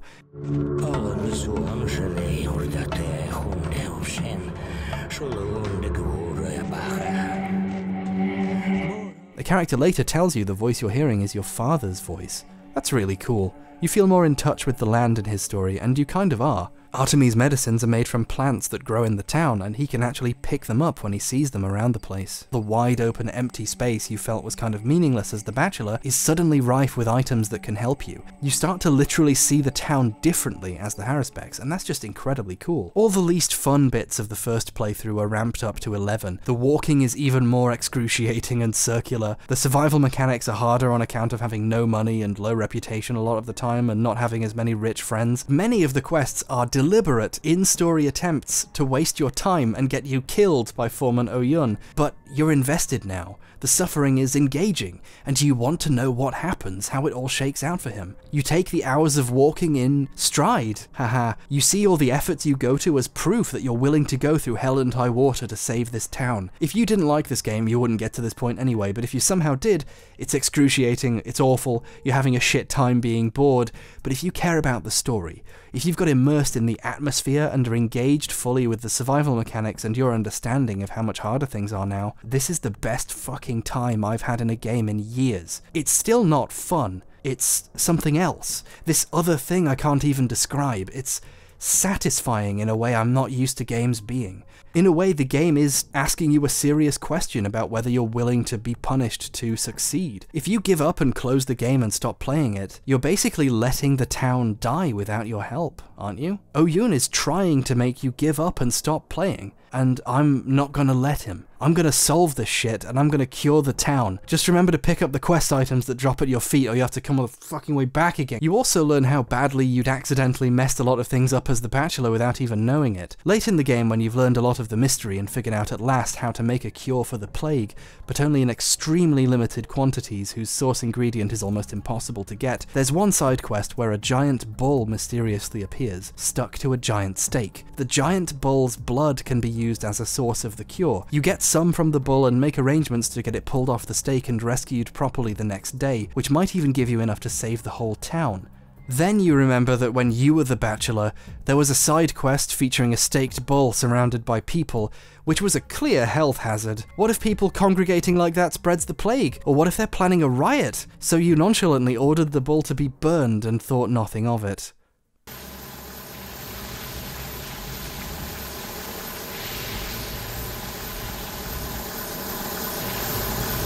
Dankovsky, you prickly prick, you've buried us all! So make the most of the blood you got the day before, because that's all you're getting. In any case, the Haruspex run is a spectacular playthrough. It's excellently designed. It forces you to relate to mechanics you felt like you knew, but in even more knuckle-tightening ways. And every time you get one over on the world or Oyun and survive to the next day having learned more, it feels like a genuine victory. Having an in-depth understanding of the layout and purpose of each part of the town, and then getting to be a fugitive from the law in it is so cool. You get to see your previous character how other people saw him instead of how you probably felt while playing as him. You learn more about the mysteries of the town from a second perspective, and you finally have something of an idea of how everything slots together. All the problems the game has are even more glaring after another 20 hours of playing a story in it, but I had an even better time as the Haruspex overall, and I'm glad I sat through the grim, bloody nightmare of the story to the end. The bitterest end.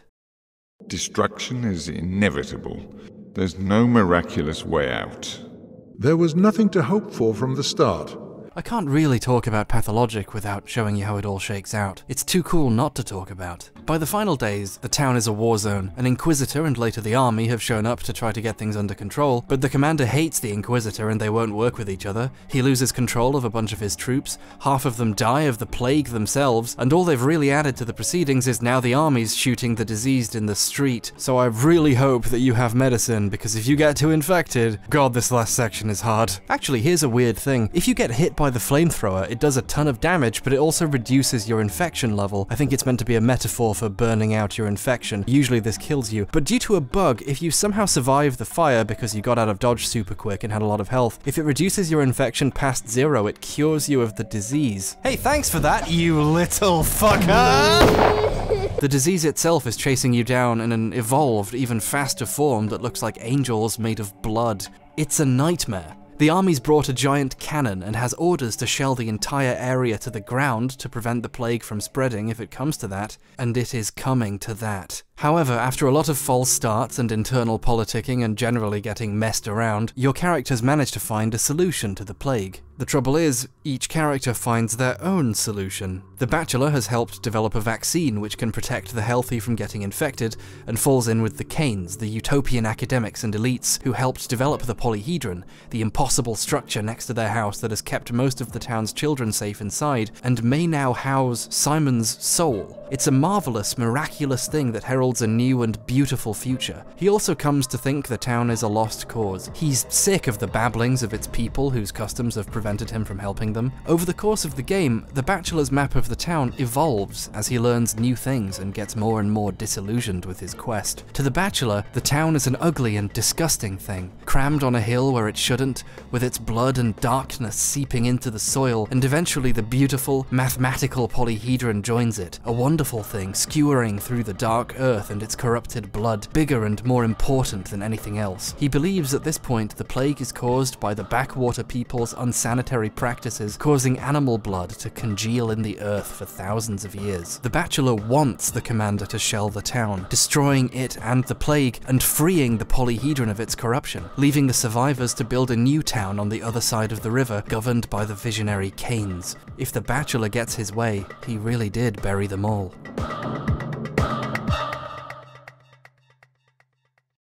The Haruspex, however, is a local of the town and has gotten more involved in the internal struggles, assumed his rightful place as the leader of the kin, and finally gained access to the source of blood he can use to make a panacea and cure the infected, a step closer to defeating the disease than the Bachelor's vaccine. He manages this after a, let's say, mildly tedious final boss fight with the foreman. Yeah, the Haruspex run has a final boss fight in it? Punch him 30 times and he does a quarter of your health each hit. You finally get your revenge on the man who, it turns out, killed your father. His map screen evolves as he learns too, portraying the town as built on the back of a giant bull, with the veins of the world portraying the town as a gigantic organism. Then the polyhedron appears, tearing through the veins, injuring the earth itself. Blood pools at the base of the tower, myopic dreams of utopia scraping a nightmarish wound into the earth. To the Haruspex, the polyhedron caused the plague, and it should be destroyed, so the town can heal.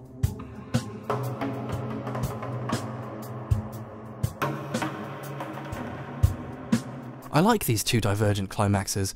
Both characters have such different perspectives and experiences that you can see how they came to the conclusions they did, and it highlights their differing philosophies about the world and how to live in it. Dankovsky wants to transcend the flesh, to defeat death itself, to build wonderful and impossible things. He doesn't really care about average people. He feels like he's too important for them. He doesn't even like them, really. His ultimate medicine prevents infection, shields you from the plague, but doesn't actually stop it killing the people it gets to. An ounce of prevention might be worth a pound of cure, but what about all the people who need curing? They get written off, not just by his version of medicine, but the town itself has to die for him to be certain the plague is dead with it. He'd rather destroy something than risk it spreading the disease, a mistake that actually helped doom the creation of more actual cures. Every choice he made was understandable, and yet it was never enough to actually save most of the people of the town. Artemy is a polar opposite. He's more concerned with curing the sick than protecting the healthy. He gets down in the dirt, the bowels of the earth,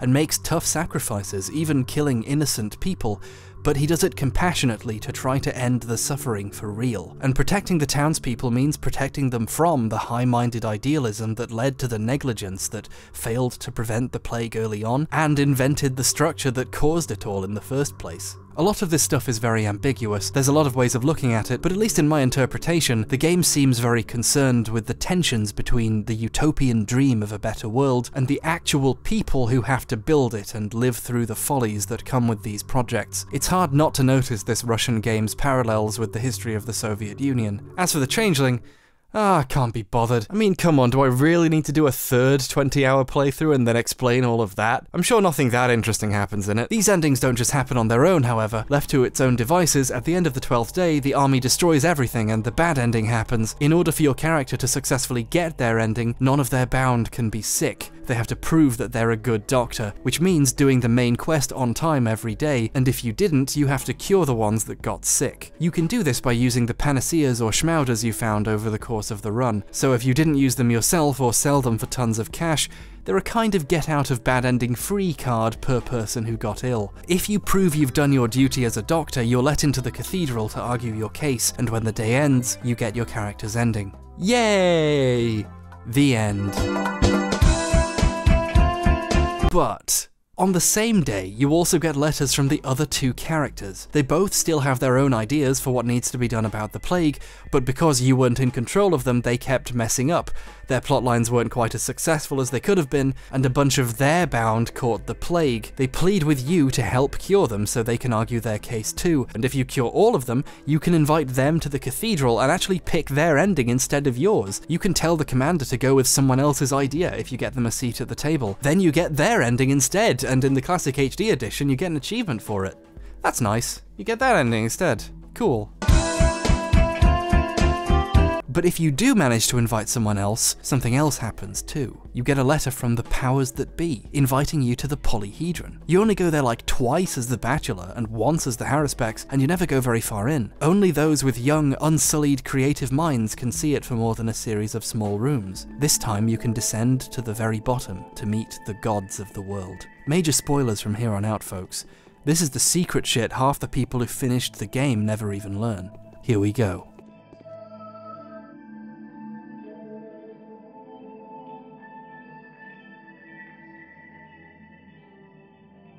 That model looks a whole lot like the town with the polyhedron sticking out, doesn't it? Oh fuck! It is the town! You're in a garden, and two giant children are there, surprised that their doll has come to life. The town, everyone in it, and the plague are just an imaginary story told by two kids in a sandbox. They tell you you're a toy, and you can complain about your fate and how unfair being not real is at them, but it's all futile. You can't change anything. They're kids playing God, and you were their imaginary friend, a doll who briefly got to question his masters before returning to the game. So, uh, this ending is pretty divisive to say the least. It really annoyed some people. There's plenty of posts out there about how much it messes with them. This happens 20 to 30 hours into a story you've been super engrossed in, and if you do really good at the story, the secret extra revelation is that none of it was real. It was all in vain. In fact, as Dankovsky, your mission statement finally changes here to tell you it was all in vain. After a whole game of staring at Dankovsky's quest to defeat death, it finally changes to acknowledge all his quests were always pointless. He was never even real. I mean, this is equivalent to a movie all turning out to be a dream. It's a bit of a kick in the teeth, honestly. In a way, it's the ultimate depressing move to have worked this hard and suffered so much, and then to be told you were just a toy. It's so much, so mean, and yet, it's exactly what Pathologic has been doing the whole time. Even right at the end, they still managed to hurt you one last time.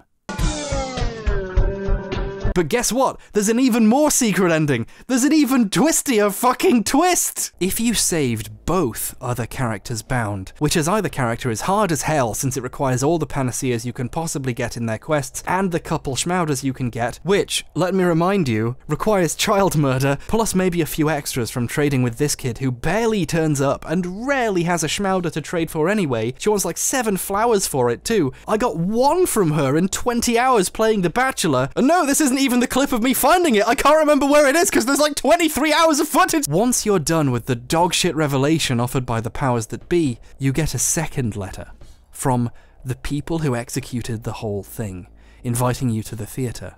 The theatre, the place you started. It always meant something, and now it's going to show you what. Remember the first time you got to the end of the impossible quiz and it turned out you had to have kept all the skips? That's how getting here and realizing I needed to have never used any of these things was. I'm glad I didn't, but wow, they give you cures to the status effect that threatens you the most in the whole game, and the only way to truly win is to never use any and save them up for the end. And they don't even tell you you were supposed to do this.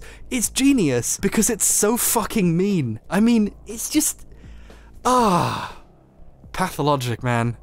This close to the end, with the town ghostly and empty, awaiting the time of my final decision, getting a last minute secret invitation from the figures behind everything, even more behind everything than the gods who made the world, is so mysterious and satisfying and amazing. I can't tell you how cool that last trip from the polyhedron to the theatre was. In a town with no more dangers, no more threats, just me and the empty world, the walk to the theatre is the most amazing journey of all. Are these the same guys from the tutorial? The ones no one but me could even see?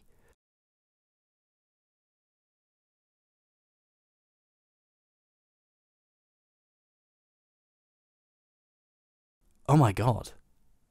These aren't the people behind the events. Well, they are, but they're more than that. These are the developers of the game. Holy shit! The final secret is a chat with the developers. The first thing they do is point out the children aren't real either. And I mean, they're right too. None of this is real. Why would you be annoyed by the it's all a game played by children twist ending? It is all a game.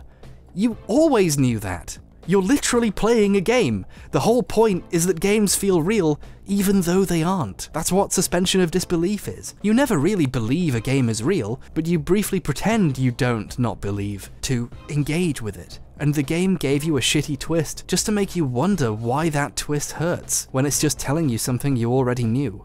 God, what a cool double twist. I love this so much. You even get to pick whether to talk as the character or as yourself. God, this is cool. In reality, all games are a conversation between you and the developers. All Pathologic does is rip down the curtain at the end and show you that's what it was, and tell you that's okay. It's fun to spend time in a world someone else made for you. It never had to be real to be real. Oh god, forgive me if my speech is unclear or absurd. I'm still reeling from this, even writing the script after playing the game, and even saying it now. I'm just Ah, I love this. I can't even communicate it, and that's what I've been trying to do for tens of thousands of words now. It's so good. Anyway, time to go pick my ending. You can say a final goodbye to a bunch of the main characters on the last day and talk about what might happen next. Each of your bound has a thing to say to you. As the Haruspex, if you got to meet the creators, you can taunt the Inquisitor as the player with the knowledge that she's all pretend. And as the Bachelor, hey, Changeling, you've been weird and talking about how transcendent and special you are this whole time, but did you know this is all just a game played by children? Wait, what? She knows? She knows? How long has she known? What the fuck was happening in the Changeling story? So, it's all about trickery to you? No, no. I detest trickery. But if we ourselves are to suffer deception, our hands are no longer tied. Clara begins by waking up in a shallow grave. The executors tell you you're going to be mistaken for a murderer and a thief, but also a miracle worker, and your reputation is always going to drop. Clara is immediately adopted by Katerina Saburov, the semi-magical lady and wife of the governor. She sees her appearance as a sign of divine providence who will do great things for the town, and believes you have magical healing powers. You also hear that someone with your description is thought of as a thief in the town, and someone matching your appearance was said to have killed Simon or Isidor. Clara replies, yes, she is a good person, and the bad things she'd heard must have been her identical twin sister. Huh. Is that an in-character fact about us? Or did our character just tell a lie? Well, it's both. How is that possible? Fuck you! The Saburovs task Clara with proving she has healing powers. You hear there's been some violence out in the steppe. Some guys tried to stop a murderer escaping the town and got fucked up. That sounds weirdly familiar. And while you're there, you probably get into a fight with the looters. And here's where you find out Clara's combat is hilariously terrible. I mean that literally. I was cackling when I discovered how shit this is. Clara doesn't have a fist fighting animation. Instead, she kind of waves her hands around, all magic like. It's a very slow attack, and it does even less damage than the previous character's attacks. Oh, and she has tiny hands, so she can't use any weapons or guns, except for one shitty gun that sucks. So good luck in fights as Clara. 45 hours and two earth-shattering revelations in, and the game's still finding ways to destroy me. This is the devs saying, okay, we know you've probably figured out how to fight in this game now, so what if it was even harder? From any kind of typical design standpoint, this combat is horrendous, but it works because at this point, you know the developers are just messing with you for fun. It's like when a close friend is rude to you, but in a cute way you both think is funny. That's the kind of friendship you have with the developers now. I mean, to even get here, you might have even met them already. You then find the injured man you're supposed to save, and you find out it's not a man, it's, hey, remember this guy? In this version of the story, the Haruspex tried to kill the kid, and the kid was injured but got away because, you know, he's not as good at stuff when you're not in control, that sort of thing. From the kid's perspective, and Clara's, he's a monster who tried to kill a kid, but from being the Haruspex, you know what was on the line. It's cool storytelling. You see Artemy's side, but you also have to recognize that he's far from an innocent man here. Luckily, he doesn't have as much blood on his hands this time, it seems, especially since we're going to help the boy. Anyway, you lay on your hands to heal the kid and complete the quest for- Oh, he's dead! So Clara's powers, if she has them at all, don't seem to quite work how you expect, at least not for healing traditional wounds. The man who was supposed to serve as a witness to your healing hands, far from assuming you're a charlatan or a demon or a murderer, actually still believes you're a hero though. He decides the kid had been judged by your power as a sinner and then killed instead of healed. He thinks your power is the divine working through you in mysterious ways. Consider yourself purified. You still have to prove you can heal people, but he's basically sold on you as a divine being. I'm not sure how to feel about this version of the story. In a really good way, Harris Haruspex made a very tough choice and had to live with it, but I think it might actually be even more bleak to have a story where a character tries to heal the child of their wounds, accidentally kills them, and is heralded as a miraculous hero anyway. I love this stuff, it's horrible. It makes my skin crawl. With the harder fighting and the constantly lowering reputation you have to actively keep up by doing good things, the game is pathologic at its most pathologicist. You have to do good things all the time. Give money away, give up on your medicine, kill baddies with your awful attacks, and so on. Bachelor has a hard spike on day 2, and Haruspex has two hard spikes at the beginning and partway through when he gets captured, but Clara is constantly swimming against a current of negative press. Someone who looks exactly like her has done a lot of bad things. You have a new set of Bound, of course, all the remaining main characters who weren't in the first two's care. As always, your job is to protect them from getting infected or dying. Wait, the foreman of the abattoir? Oh, that's not gonna end well. Clara's story has a lot of little extra things in it to learn about character relationships and choices. Lots of them are too small to go into depth about, but at times it was like a victory lap. The writers creating an extra post-playthrough story for a character with a magical ability that justifies them learning all kinds of new things. It's another way of exploring the richness of the story. You're still interacting with and causing the story to play out the way it does, but you have the strongest idea of why it all worked out now with two stories worth of hindsight. When you talk to the foreman who gave the Haruspex so much trouble and help him verify Artemy is a legitimate heir to his position, this conversation causes him to devise the trials he tormented you with when you were playing the other story. He comes up with them on purpose to get rid of Artemy. Thanks, Clara, which is how it felt like as the Haruspex, but getting that confirmation is really something. On top of that, the thing where the other player characters are worse at their jobs is cranked all the way up. After the first few days, the Bachelor and Haruspex's relationship breaks down so bad, they're actively trying to hunt each other down for much of the story. You get letters from their allies asking you to find them and warn them the other is coming for them, and you can even rat their locations out to each other for money and medicine. It's fun seeing how the worst possible of their timelines plays out when you aren't stopping either of them from being jerks. That said, it's clear that Clara is the most rushed of the stories. You can tell mainly because a lot of the side quests are the same side quest each day. For the second half of the game you have three side quests every day and they're always the same. Two of them are to warn the Bachelor and Haruspex about each other, and the third well, Clara starts getting letters, or possibly dream messages, but it's in the letters menu, from her twin sister, the evil Clara, who is hiding out somewhere new in the town each day. If you don't find her based on cryptic messages and get her to leave, which takes a lot of sleuthing and running around infected houses, the district she was hiding in will be permanently infected for the rest of the game. It's creepy talking to your own character, too. Whenever you find her in a house, she's always facing away from you, and it's super weird. Dodging the plague in houses to find a weird copy of yourself is great stuff. You then also have to scare away her followers who are hiding out in very hidden places you won't think to look, and if you don't, that area gets infected too.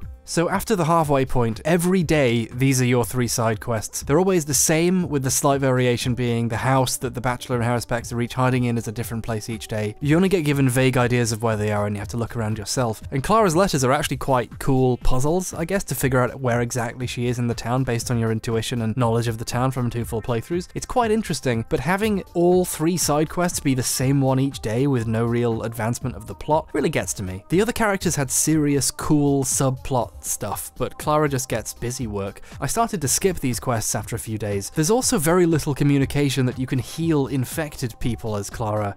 Oh, did I mention that? I didn't mention it earlier on purpose because the game sure didn't. When you use your hands on the infected, it plays a different animation, and you get reputation back and they do a little bow. It costs some health too, I guess. So it's another thing you can do to keep your reputation up, and it's also a cool trade-off because you lose health for doing it as well, and there's a risk of getting infected while you're in those districts doing this, but I don't remember being tutorialized or told by the game you can do this. I only know about this from other videos mentioning it. I know Pathologic is a game that prides itself on not conveying stuff and letting you figure things out, but from a design perspective this feels like a misstep. I feel like if they'd had more time or resources, they'd have made this much clearer. I mean, they seem to give the implication Clara's attack is an attack. You use it to kill people, and it kills the first person you try to heal, and the first person you actually heal happens in a cutscene. They do the opposite of letting you know you can do this, and this only works on these characters too, not the people who appear to be in the early stages of infection. They just drop dead. Like I said earlier, for the HD edition, all the character audio was re-recorded, but in Clara's scenario, specifically for Katarina on around day 3, for some reason one of the old voice actor's lines is still in there. Nothing threatens your daughter. Everyone will die, but you will remain. I feel like this sort of oversight probably happened because development of Clara was rushed, even for the HD version, and an old line slipped through and didn't get caught. Which makes sense, a very small amount of players ever get to the point this could happen, and I'm glad they spent the time elsewhere instead of triple checking all the voice lines for every character for every character's story, but it's at least a good indicator of how generally rushed some of the Changelings stuff is. It's a minor thing, but it points to the major thing. Or at the very least, I noticed it, and I want to pretend that I can make a point out of it. Overall, if you were interested in pathological story, Clara's route is really satisfying. If you're not, it's just more text and combat even more frustrating than before, and yet more walking, but it's much more rewarding and forthcoming with information than the others. You put the work in, you played 20 to 40 hours of story, now lots of the missing pieces you were curious about can get filled in. The story isn't pulling its punches either, they know you've already played the game once. I love a lot of sequels to movies and games where they don't need to re-establish or explain the simpler stuff, they can just go nuts with established material and ideas, and this really hits that spot. It gets kinda meta toward the end too, so it's all about trickery to you? Wherever have you come from? No, I detest trickery. If we ourselves are to suffer deception, our hands are no longer tied. It's like Clara kind of knows what's happening without having to be told. Some of her text options imply information she never even learns herself, but you know it from the other stories. This is some Malkavian shit right here. God, I should really make that vampire video I teased years ago. It's on the pile somewhere. Hey, you, what are you doing out of your cage? I'll get to you! It even starts to become clear what the story might really have been about all along. Like, what does the polyhedron actually do? People say it can store dreams so people can revisit them and share them, or trap a soul and keep a dead person alive. But what does that mean? Are souls literal things? Or an ephemeral, conceptual thing? The idea of someone? The presence they can manifest through the effects of actions from while they were alive? Is a piece of my soul in this video, perhaps even surviving after my death? I put a lot of myself in my work. Am I immortal now? In a sense, maybe I am. I'm going to say the word now. Now. When did I say that? Looking at the clock, it's 4:16 a.m. on the 9th of November 2019. But when did I really say it? I, now, will be 27 and talking about pathologic forever, even if you come back in another 27 years. Maybe I'm immortal and freed from earthly flesh by existing in the form of a video. Maybe the opposite is true. Maybe I'm trapped here forever, and maybe this is worse than being dead. Forgive me if my speech is unclear or absurd. You have a lot more in-depth conversations along these philosophical and spiritual lines, and to me now the polyhedron feels like a metaphor for video games themselves. The rest of the town represents the down-to-earth, day-to-day boring reality of walking to places, talking to people, getting lied to, being a regular person, eating food, getting sick sometimes, and eventually dying. But in video games, in art, death isn't real. You can be whoever you like. Games are stories, but more than that, a way for people to share their stories with others forever, to take part in them and live on past the boundaries of their simple material existence. Everyone who made Pathologic will be dead one day, but they'll still be here, in this world they made, staring out at you in eternal polygons, talking to you, sharing their ideas and feelings, a hand reaching from the grave to grasp you once more. Art is the road to awe, to permanent expression, and games are a collaborative expression too. You're playing it, interacting, being in it. This game is made for you. Aren't you a part of it? This game is a reminder of the immense spiritual value of games. To be somewhere else and move and act in it, to be a piece of someone else's vision for a moment. The polyhedron represents the uplifting, unrealistic, and yet truly real power imbued upon us by our ability to have dreams, literally and figuratively. That's just how it reads to me, though. It certainly feels that way at times. Speaking of the polyhedron, when you visit there as Clara partway through, you get to descend to the bottom and meet the gods of the world several days earlier than the other characters. They're genuinely shocked to see you this time. It's like Clara herself has more power than the creators thought she would, and here explains why Clara is the way she is, why there's such confusion about her nature, why there's two of her. The powers that be are in disagreement over who she is and what she's doing. One of them thinks she's a thief, and the other thinks that she is some kind of divine being in their story. I think this is actually really clever. The powers that be are having competing interpretations of this character they've made. Clara's quest eventually leads to the discovery of how her healing hands work. They transform people's blood, give them something that can protect them from the disease, and if she uses it on stronger people, for example her bound, if they're sacrificed and their blood is taken, it can be used to make many cures for the plague. So she can get seven of her bound to agree to atone for their sins by being sacrificed to save the town. When you describe this to Foreman Oyun, he sees it as a chance to undo the damage he's caused and agrees wholeheartedly. He tells you to tell the Haruspex to not bother with the final trial, the one where he jumps into a hole and dies, since he no longer needs to kill him to protect his position in the kin. You can straight up ask him what happens if he'd gone in the hole, and he tells you he would have died. Because yeah, it's a big hole! I left this out when I was talking about the Haruspex for dramatic effect, but I don't want to not mention it. As the Haruspex, you do get Clara cryptically offering to assist you, and if you agree, when you go in the hole, you instead get this cool scene where you can see your own corpse surrounded by executors, and you can choose someone from Clara's bound to die in your place. Artemy survives by doing this and then fights the foreman. So it really was a spiritual experience, if you let the changeling into your life at least. I guess this is because Clara in the Haruspex's story doesn't get her shit together enough to realize she can use Oyun to solve the plague problem directly herself. Anyway, it's very funny to me that in Clara's run, the Haruspex is genuinely prepping to jump into a hole and die. So Oyun and six others agree to make this sacrifice, and that's her ending. The town and tower get preserved, but at the expense of people sometimes giving up their lives to maintain it. I like this ending, it feels like the reminder that for society to survive intact requires work, and sacrifice to protect itself from its own internal tensions and contradictions, that sort of thing. Clara's map evolutions are suitably miraculous. Instead of either the town or the tower being monstrous, the tower is a part of the town, harboring some new thing, a dream, a life, the future, and the town is feeding it. It's a symbiotic relationship, which takes sacrifice, but which might be worth preserving. And the sky is dreamlike, reflecting either Clara's more miraculous, fantastical perspective, or her knowledge that the world really is a dream of sorts. Clara's first extra ending is nothing special. You've already met them once in this playthrough, so there's no real revelation here. Hey guys, it's me again. Third time round now. How's it going? Whoa, fuck. Okay, that's cool.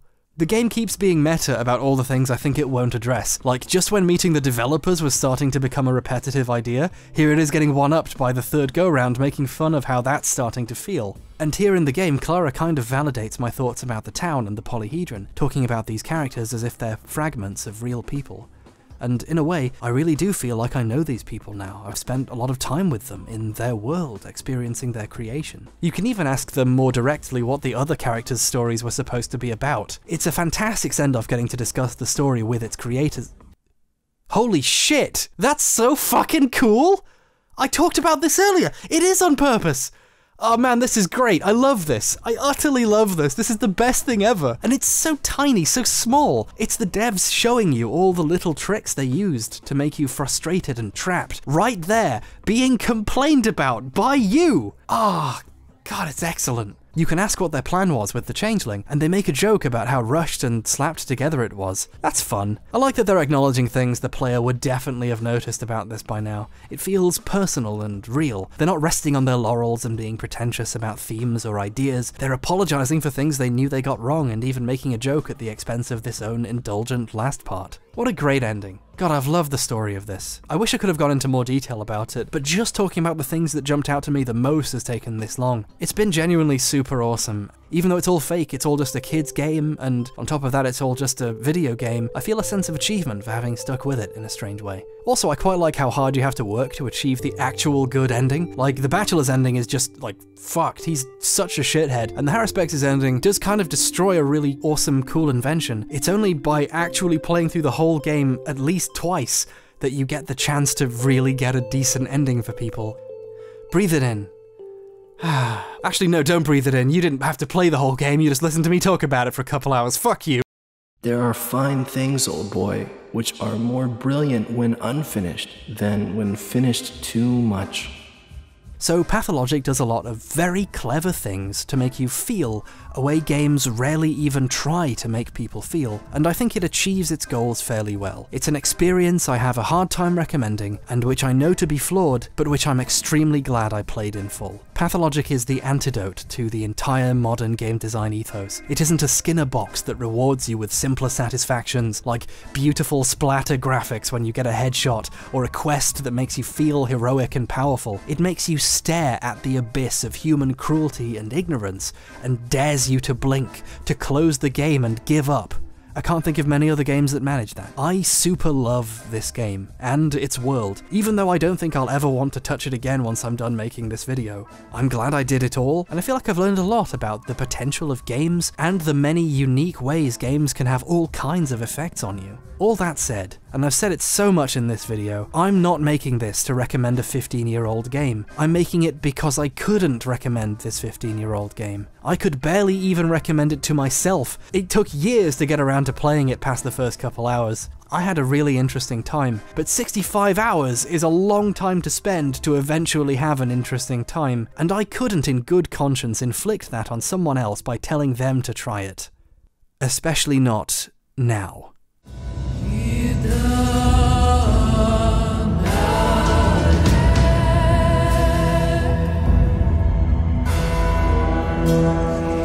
So, yeah, love Pathologic, amazing game, one of the best games ever, artistic masterpiece, but don't play it, it sucks. Luckily, there exists a game that does everything Pathologic 1 does wrong, right. A game I can recommend so, so much more. That game is Pathologic 2. You don't have to play 1 to understand 2, especially not now that I've told you everything you need to know about it. When I sat down to play Pathologic 2, I cynically assumed it would be a compromised version of 1, graphically and technically improved, but lacking the sorts of bold design elements that contributed to making the original so unique. Like, making a game like Pathologic more accessible and understanding for a newer audience, making it more engaging to play even, would surely mitigate what it did best. I've never assumed so wrong. It's even more horrifying, even harder, and a massive step forward in every possible way. Except the music. The music in 1 is better in my opinion, but the music is still incredible stuff, like top 10 best music in games, no question. The creators made good on maintaining the atmosphere and feel while removing the bugs and elements that were truly bad and took away from the experience. They even threw in meta stuff for people who played the first, or even people who knew the twists from the first I learned painstakingly the hard way, and you just learned easily over one video. Perhaps, finally, after all these long years, the deep game is here. Well, almost here, because Pathologic 2 isn't done yet. It's not in early access per se, but not only is it still getting what I'd say are critical bug fixes, for example an update while I was making this video solved the performance problems I would have talked about right now, so nice one there, but only one of the game's original stories is in this version, at least right now, the Haruspex. It's still a full game because Pathologic was three full games already basically, but they're going to add more if they can afford to. I'd buy the others as DLC or expansions, frankly. There was a demo, The Marble Nest, a few years ago where you play as the Bachelor for a day, and they just patched that into the main game as an improved version of itself, and that's awesome too. And yes, the Bachelor is even more of a shit. I love him. Truth does not do as much good in the world as its counterfeits do evil. God, what a great character. I love him so much. He's just.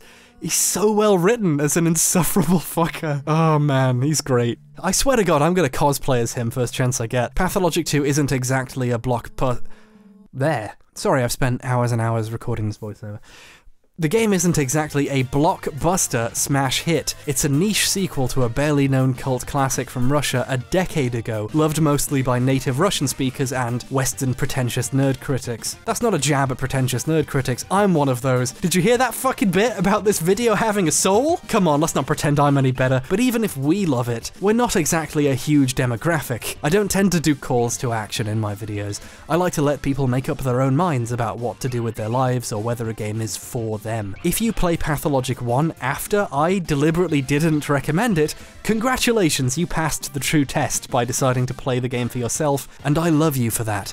Good luck with the fight with Barley, and on day one you can find extra food left out on Nina's grave. Pretend I left that for you. Mwah. Keep the fact I didn't recommend the first game, despite loving it, in mind when I say you should buy Pathologic 2. It still might not be for you, but you absolutely must try it to find out. And in a world where mainstream games are starting to feel like they're converging upon the same Pavlovian uniform design with only minor branding variations, supporting independent work and true experiments with the form, even if they don't turn out to be something you personally like, seems like the step forward for video games. The only other obvious step forward I can think of is starting a game developers union. Pathologic 1 is the best game you didn't play. It's the best game I almost didn't play. But Pathologic 2 is better, and you are going to play it. Go experience one of the most unique, satisfyingly hurtful experiences there is in gaming. I'd analyze it in detail, but that would require spoiling it, and you are going to play this, so I wouldn't do that to you. Not for a while, at least. I need time to collect data about other people's experiences and think about how it achieves the effects it does. And I want to play it all the way through three more times. Okay, everybody break go play Pathologic 2, and meet back here in, I don't know, six months to compare notes for my analysis of the sequel. Oh, and whatever you do, don't take the Traveler's deal! You weren't supposed to take the deal, Brendan!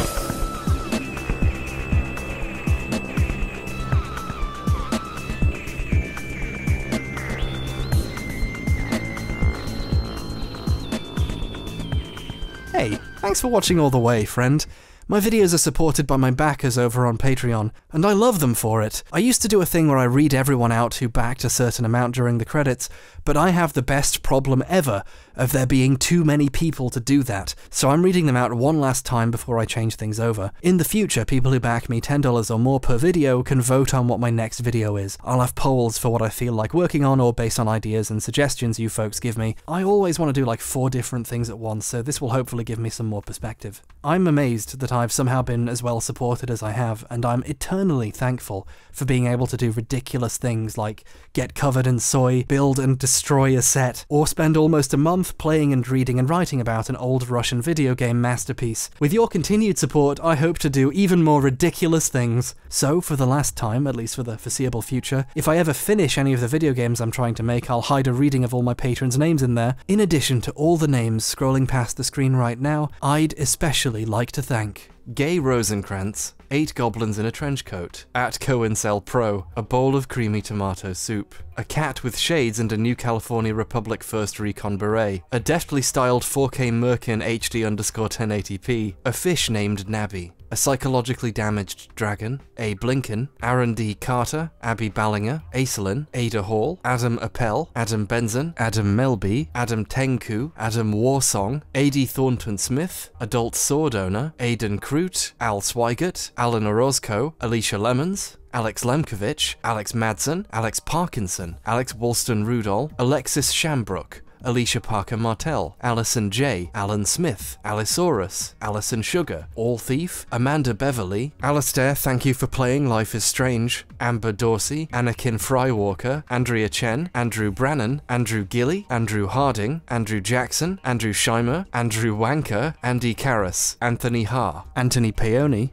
Antonin E. Dumenk, Aoife O'Brien, April Marches On, Arsholtep the Insufferable, Artifind Felcontamo, Ash, Asher Holy, Astrid Harper, August, Orin Shaw, Auspun, Avery P. Look Mum, he said my name, I'm famous now, please love me, Avi Finkel, Az, Bad Kamish, Banjo Hits, Bardic College of Controversy, Basugasu Bakuhatsu Bakumatsu, Beatrix Williams, Bebo Sloth, Beekeeper Gal, Ben Slater, Bendick Crogson, Benjamin Davidson, Benjamin Reuter Delnavoz, Besot Jenny, Billy Reed, Bleed Red, Bob from Accounting, Bongwater T, Bo Scar, Bjorn Lammers, Brandon Broughton, Brendan Dunsmuir Goss, Brendan Young, Brian Johnston, Brian Parr, Brianna Maria McKenzie, Bryce Pullen, Bridget Gainey, Buddy Sales, Bush, Button, Byron Callan, Caden the Dingo, Kate Seath, Caleb Romo, Callum Megginson, Cameron Dillon, Cameron Ross, Charismatic, Casey Explosion, Cat Coupeau, Kate, Chance Mims, Chard Botham, Charles Sizz, Charlie Hawley, Charlie Pepper, Chloe Coopers, Chris Ragnacci, Chrissy Dial,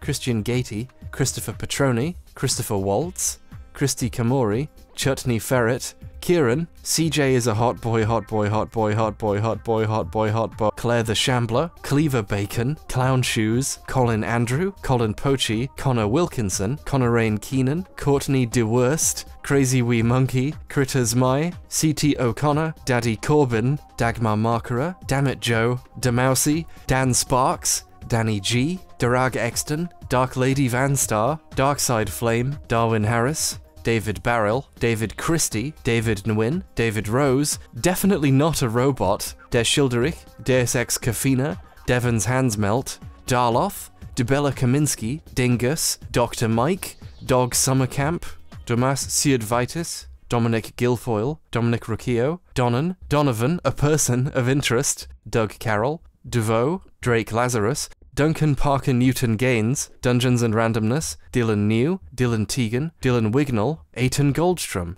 Ella Carr, LB, Eli Bosnick's favourite sex friend, Eli JF Winnobst, Eliza Kogan, Elizabeth Hamilton, Elizabeth Kubiak, Ellie Rogers, Elise Kennedy, Emily Christ, Emma, Emma McCartan, Eric Davies, Eric Hunter, Erica Oligas, Eric Winlol, Erika Sanwa Subarashi Ningen Des, Erin Almas, Itancel, Eugene Butler, Evan, Evan Hill, Evan Ritchie, Fantaboy15, Fatboy Likes Cake, Findley Bowick Copley, Flag Burner, Flarboo, Flebsy, Flexter McSignals, Florian Knox, 40 Tentacles, Frick aka Unironic Love for Sonic, Gabriel Savita Ramirez, Garrett Gutierrez, Gary Marshall, Gottseinvarter, Gracie Lipscomb, Greg Day, Haley, Halder Olafsson, Handsome Unlimited, Hannah Reese, Happy Kitty, Hash Brown, Hattie Masters, Havelock Smiggles, Heel Al Gankovic, Henry Dolling, Hilary Thomas, Heel Webdom, Hiram, Hero R. War, Hudson Hayward, Ian Earl, I Does Not,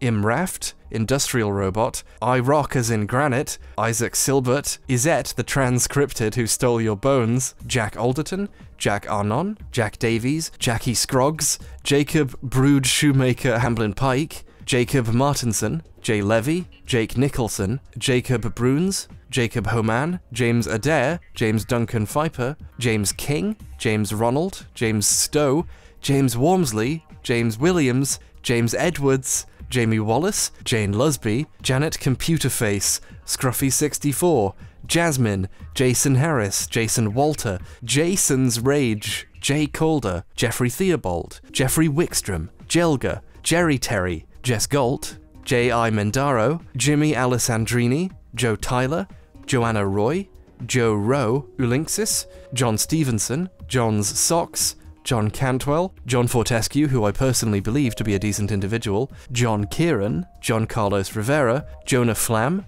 Jonathan Wardill, Jordan Tullis, Jordan Brown, Joseph Earp, Josh, Josh Doctor of Purgeology Beach, Josh Thomas, Josh Watkins, Josh the Cellist, Joshua Brady, Joshua Featherston, Joshua Hagen Fenton, Joshua Misrak, Julia Bashornd, Julian, Justin Dutch, Justin Whitney, Cafsile, Cameron Fall of the Patriarchy, Karl Marx said Twink writes, Kat McIntyre, Kate Brock, Kate J, Catherine Alma Caslin, Kino Kintony, Kenan Ward, Legolas underscore Catan, Kevin Thurber, Kit Foley, Cold Beans, Commissars, KP, Chris, Krista Wallace, K. Zvezdarov, Ladies Making Comics, Lance Manley, Sorcerer of Sin, Lauren, Lawrence Hutton Smith, Lavinia, Leftist Tech Support, Leah Schuster, Lena, Letters and Punctuation, Let the Loser Melt, Lester Alfruff, Lewis McDermott, Lightcraft Mini Paint Studio, Lindsay Bowser, Lint, Logan Mears, Loveling, Lowen Deneve, Lucas Marcelli, Lucy X, Luke Swanson, Luz Faltex, M. Allen, Masil, Mackenzie, Malav Shah, Mallow, Malpertui, Ma, Mario Babich, Mark Bools, Mark Smith, Matheson Bailey, Matt Feenan, Matthew E. Cooper, Matthew Maggs, Matthew Scalort, Max W, McBricks, McMuster, Mecha Shiva, Megan Bond, Megan Cahill, Meg Mazel, Mel is my favourite fan, especially because they're non binary, Me Nap Feast, Mert ist mein Baba, Michael Campbell, Michael Curtis, Michael H. Prey, Mikhail Johns, Michelle Bearhart, Microsoftonator, Mike Jeffcott, Mike Wayne, Milo, Mipit, Mitt, Morphoportis, Mother's Basement, My Weight in Nudes, Nako Nakoni, Naoto Shirogane, Nathan Beam, Nazi Destroyer, Nathan Hoare, Nathaniel P. Graham, Niala Ernswa, Neverminder, Nick Abigail, Nick Fidian, Nick Pollard, Ugelenu Antife, Ningen's Wit Attitudes, Nolan Segrist, Null Rush, Ocarina Solo, Octonian, Ushand, Omari Anthony, Otter, Owen Piper, Paige Dwight, Panda KB, Parker Vincent, Parsnips, Patrick Brown, Patrick Morrison, Patrick Poitras, Paz Brook, Pelops, Pendracan, Peng J. Howell, Perry Lewin, Pete Asic, Peter Broderson, Peter Wonder, Petra McCartney, Philip Metzger, Phobos2390, Phoenix Moonbeam, Piss.gif, Poplar, Preston Michalizio, Previous Mammoth, Psy43, Quay, Team Alfk, Qui-Gon Jinn, Good Night, Sweet Prince, Rachel Ann, Recovering Zombie, Red Rosa, Reese Adams, Reginald Butter Sphincter, Renbimon, Rhythm, Richard Pearson, Riley Knight, Ro Morris, Rob Rose, Robert Ankeny, Robin Veitch, Rocket Owl, Rory Olek, Ross Schleicher, Ryan Meany, Ryan Vieno, Rylan Hudson, SM, Sage Summer, Sace, Salem Alarak, Sam Glass, Sam M. Keen, Samael, Samuel Baker, Samuel Vergara Ekman, Sarah Yertgvist, Saria Melody, Scott Girton, Scramp Shortfriend, Seamus Yossarian, A Serpent Perplexed, Sean Locke, Sebastian Emanuelson, Sebastian Lorenzo, Sebastian Simon, Seeker of Light, Shana Hansen, Shane Smith, Shane Boyles, Sheena Artrip, Shikon Neko, Shining Star Justice, Siegfried Pinzer, Silas Pumpkins, Syllabub Cosplay, Silverwolf, Sir Monday, SJ, Sly Bones, Snazghoul, Sol, Spencer St. James, Spicy Fun Dip, Squid Heart, Starboy, Stardust Ultima, Stephen Notley, Sugarcane, Summit Dreams, Super Depressing Lifestyle Championship Edition, Super Kate, Super Dark 33, Suppercut, Sven Lorenz, Swamp Selkie, Sydney Stevenson, Cincione Breskel, Sebastian Demel, Tatanator, Talk Gibberish, Tapio Unto Oscari Turonen, Tauron the Exile, Ted Teddington Tedsville, That Flying Scotsman, the 4000th Yamaha DX7 Trent Reznor broke with his mic stand or foot, the Biophone, the D-Pad, the Durbinator, the immortal science of dialectical materialism, the spectre of commulism, the cinnamom, Thinkoplex, this drawing of a tiger, Thomas Frey, Thomas Kent, Thornton Prime, three possums in a trench coat pretending to be a human, Thunter, Tiaz, Tim Yelverton, Timothy Crowley, Tom Pinkney, Tom Thorogood, Torbjorn Auglind Wilhelmsen, translated Leak, Trix, Tricodin, Tristan Young, Turpid, Tyler Nunez, Unsurpassed Travesty, Valastrius, Vilath, V. Hoffman, Vesco, Vincent Omnia, Whackman, Weebke, William Case, William Moore, William Nelson, Willow H, Whisk, XX Emo Samurai XX, YGrek32, Your Good Boy, Urix, Yvonne with a smiley face, Zachary Prokowski, Zach Radley, Zemilla, Zenny, Zero Anonymity, Zoe, Zoe Burke, Orn Magnus Palson, and finally, honestly, I'm just curious what you'll do with my name.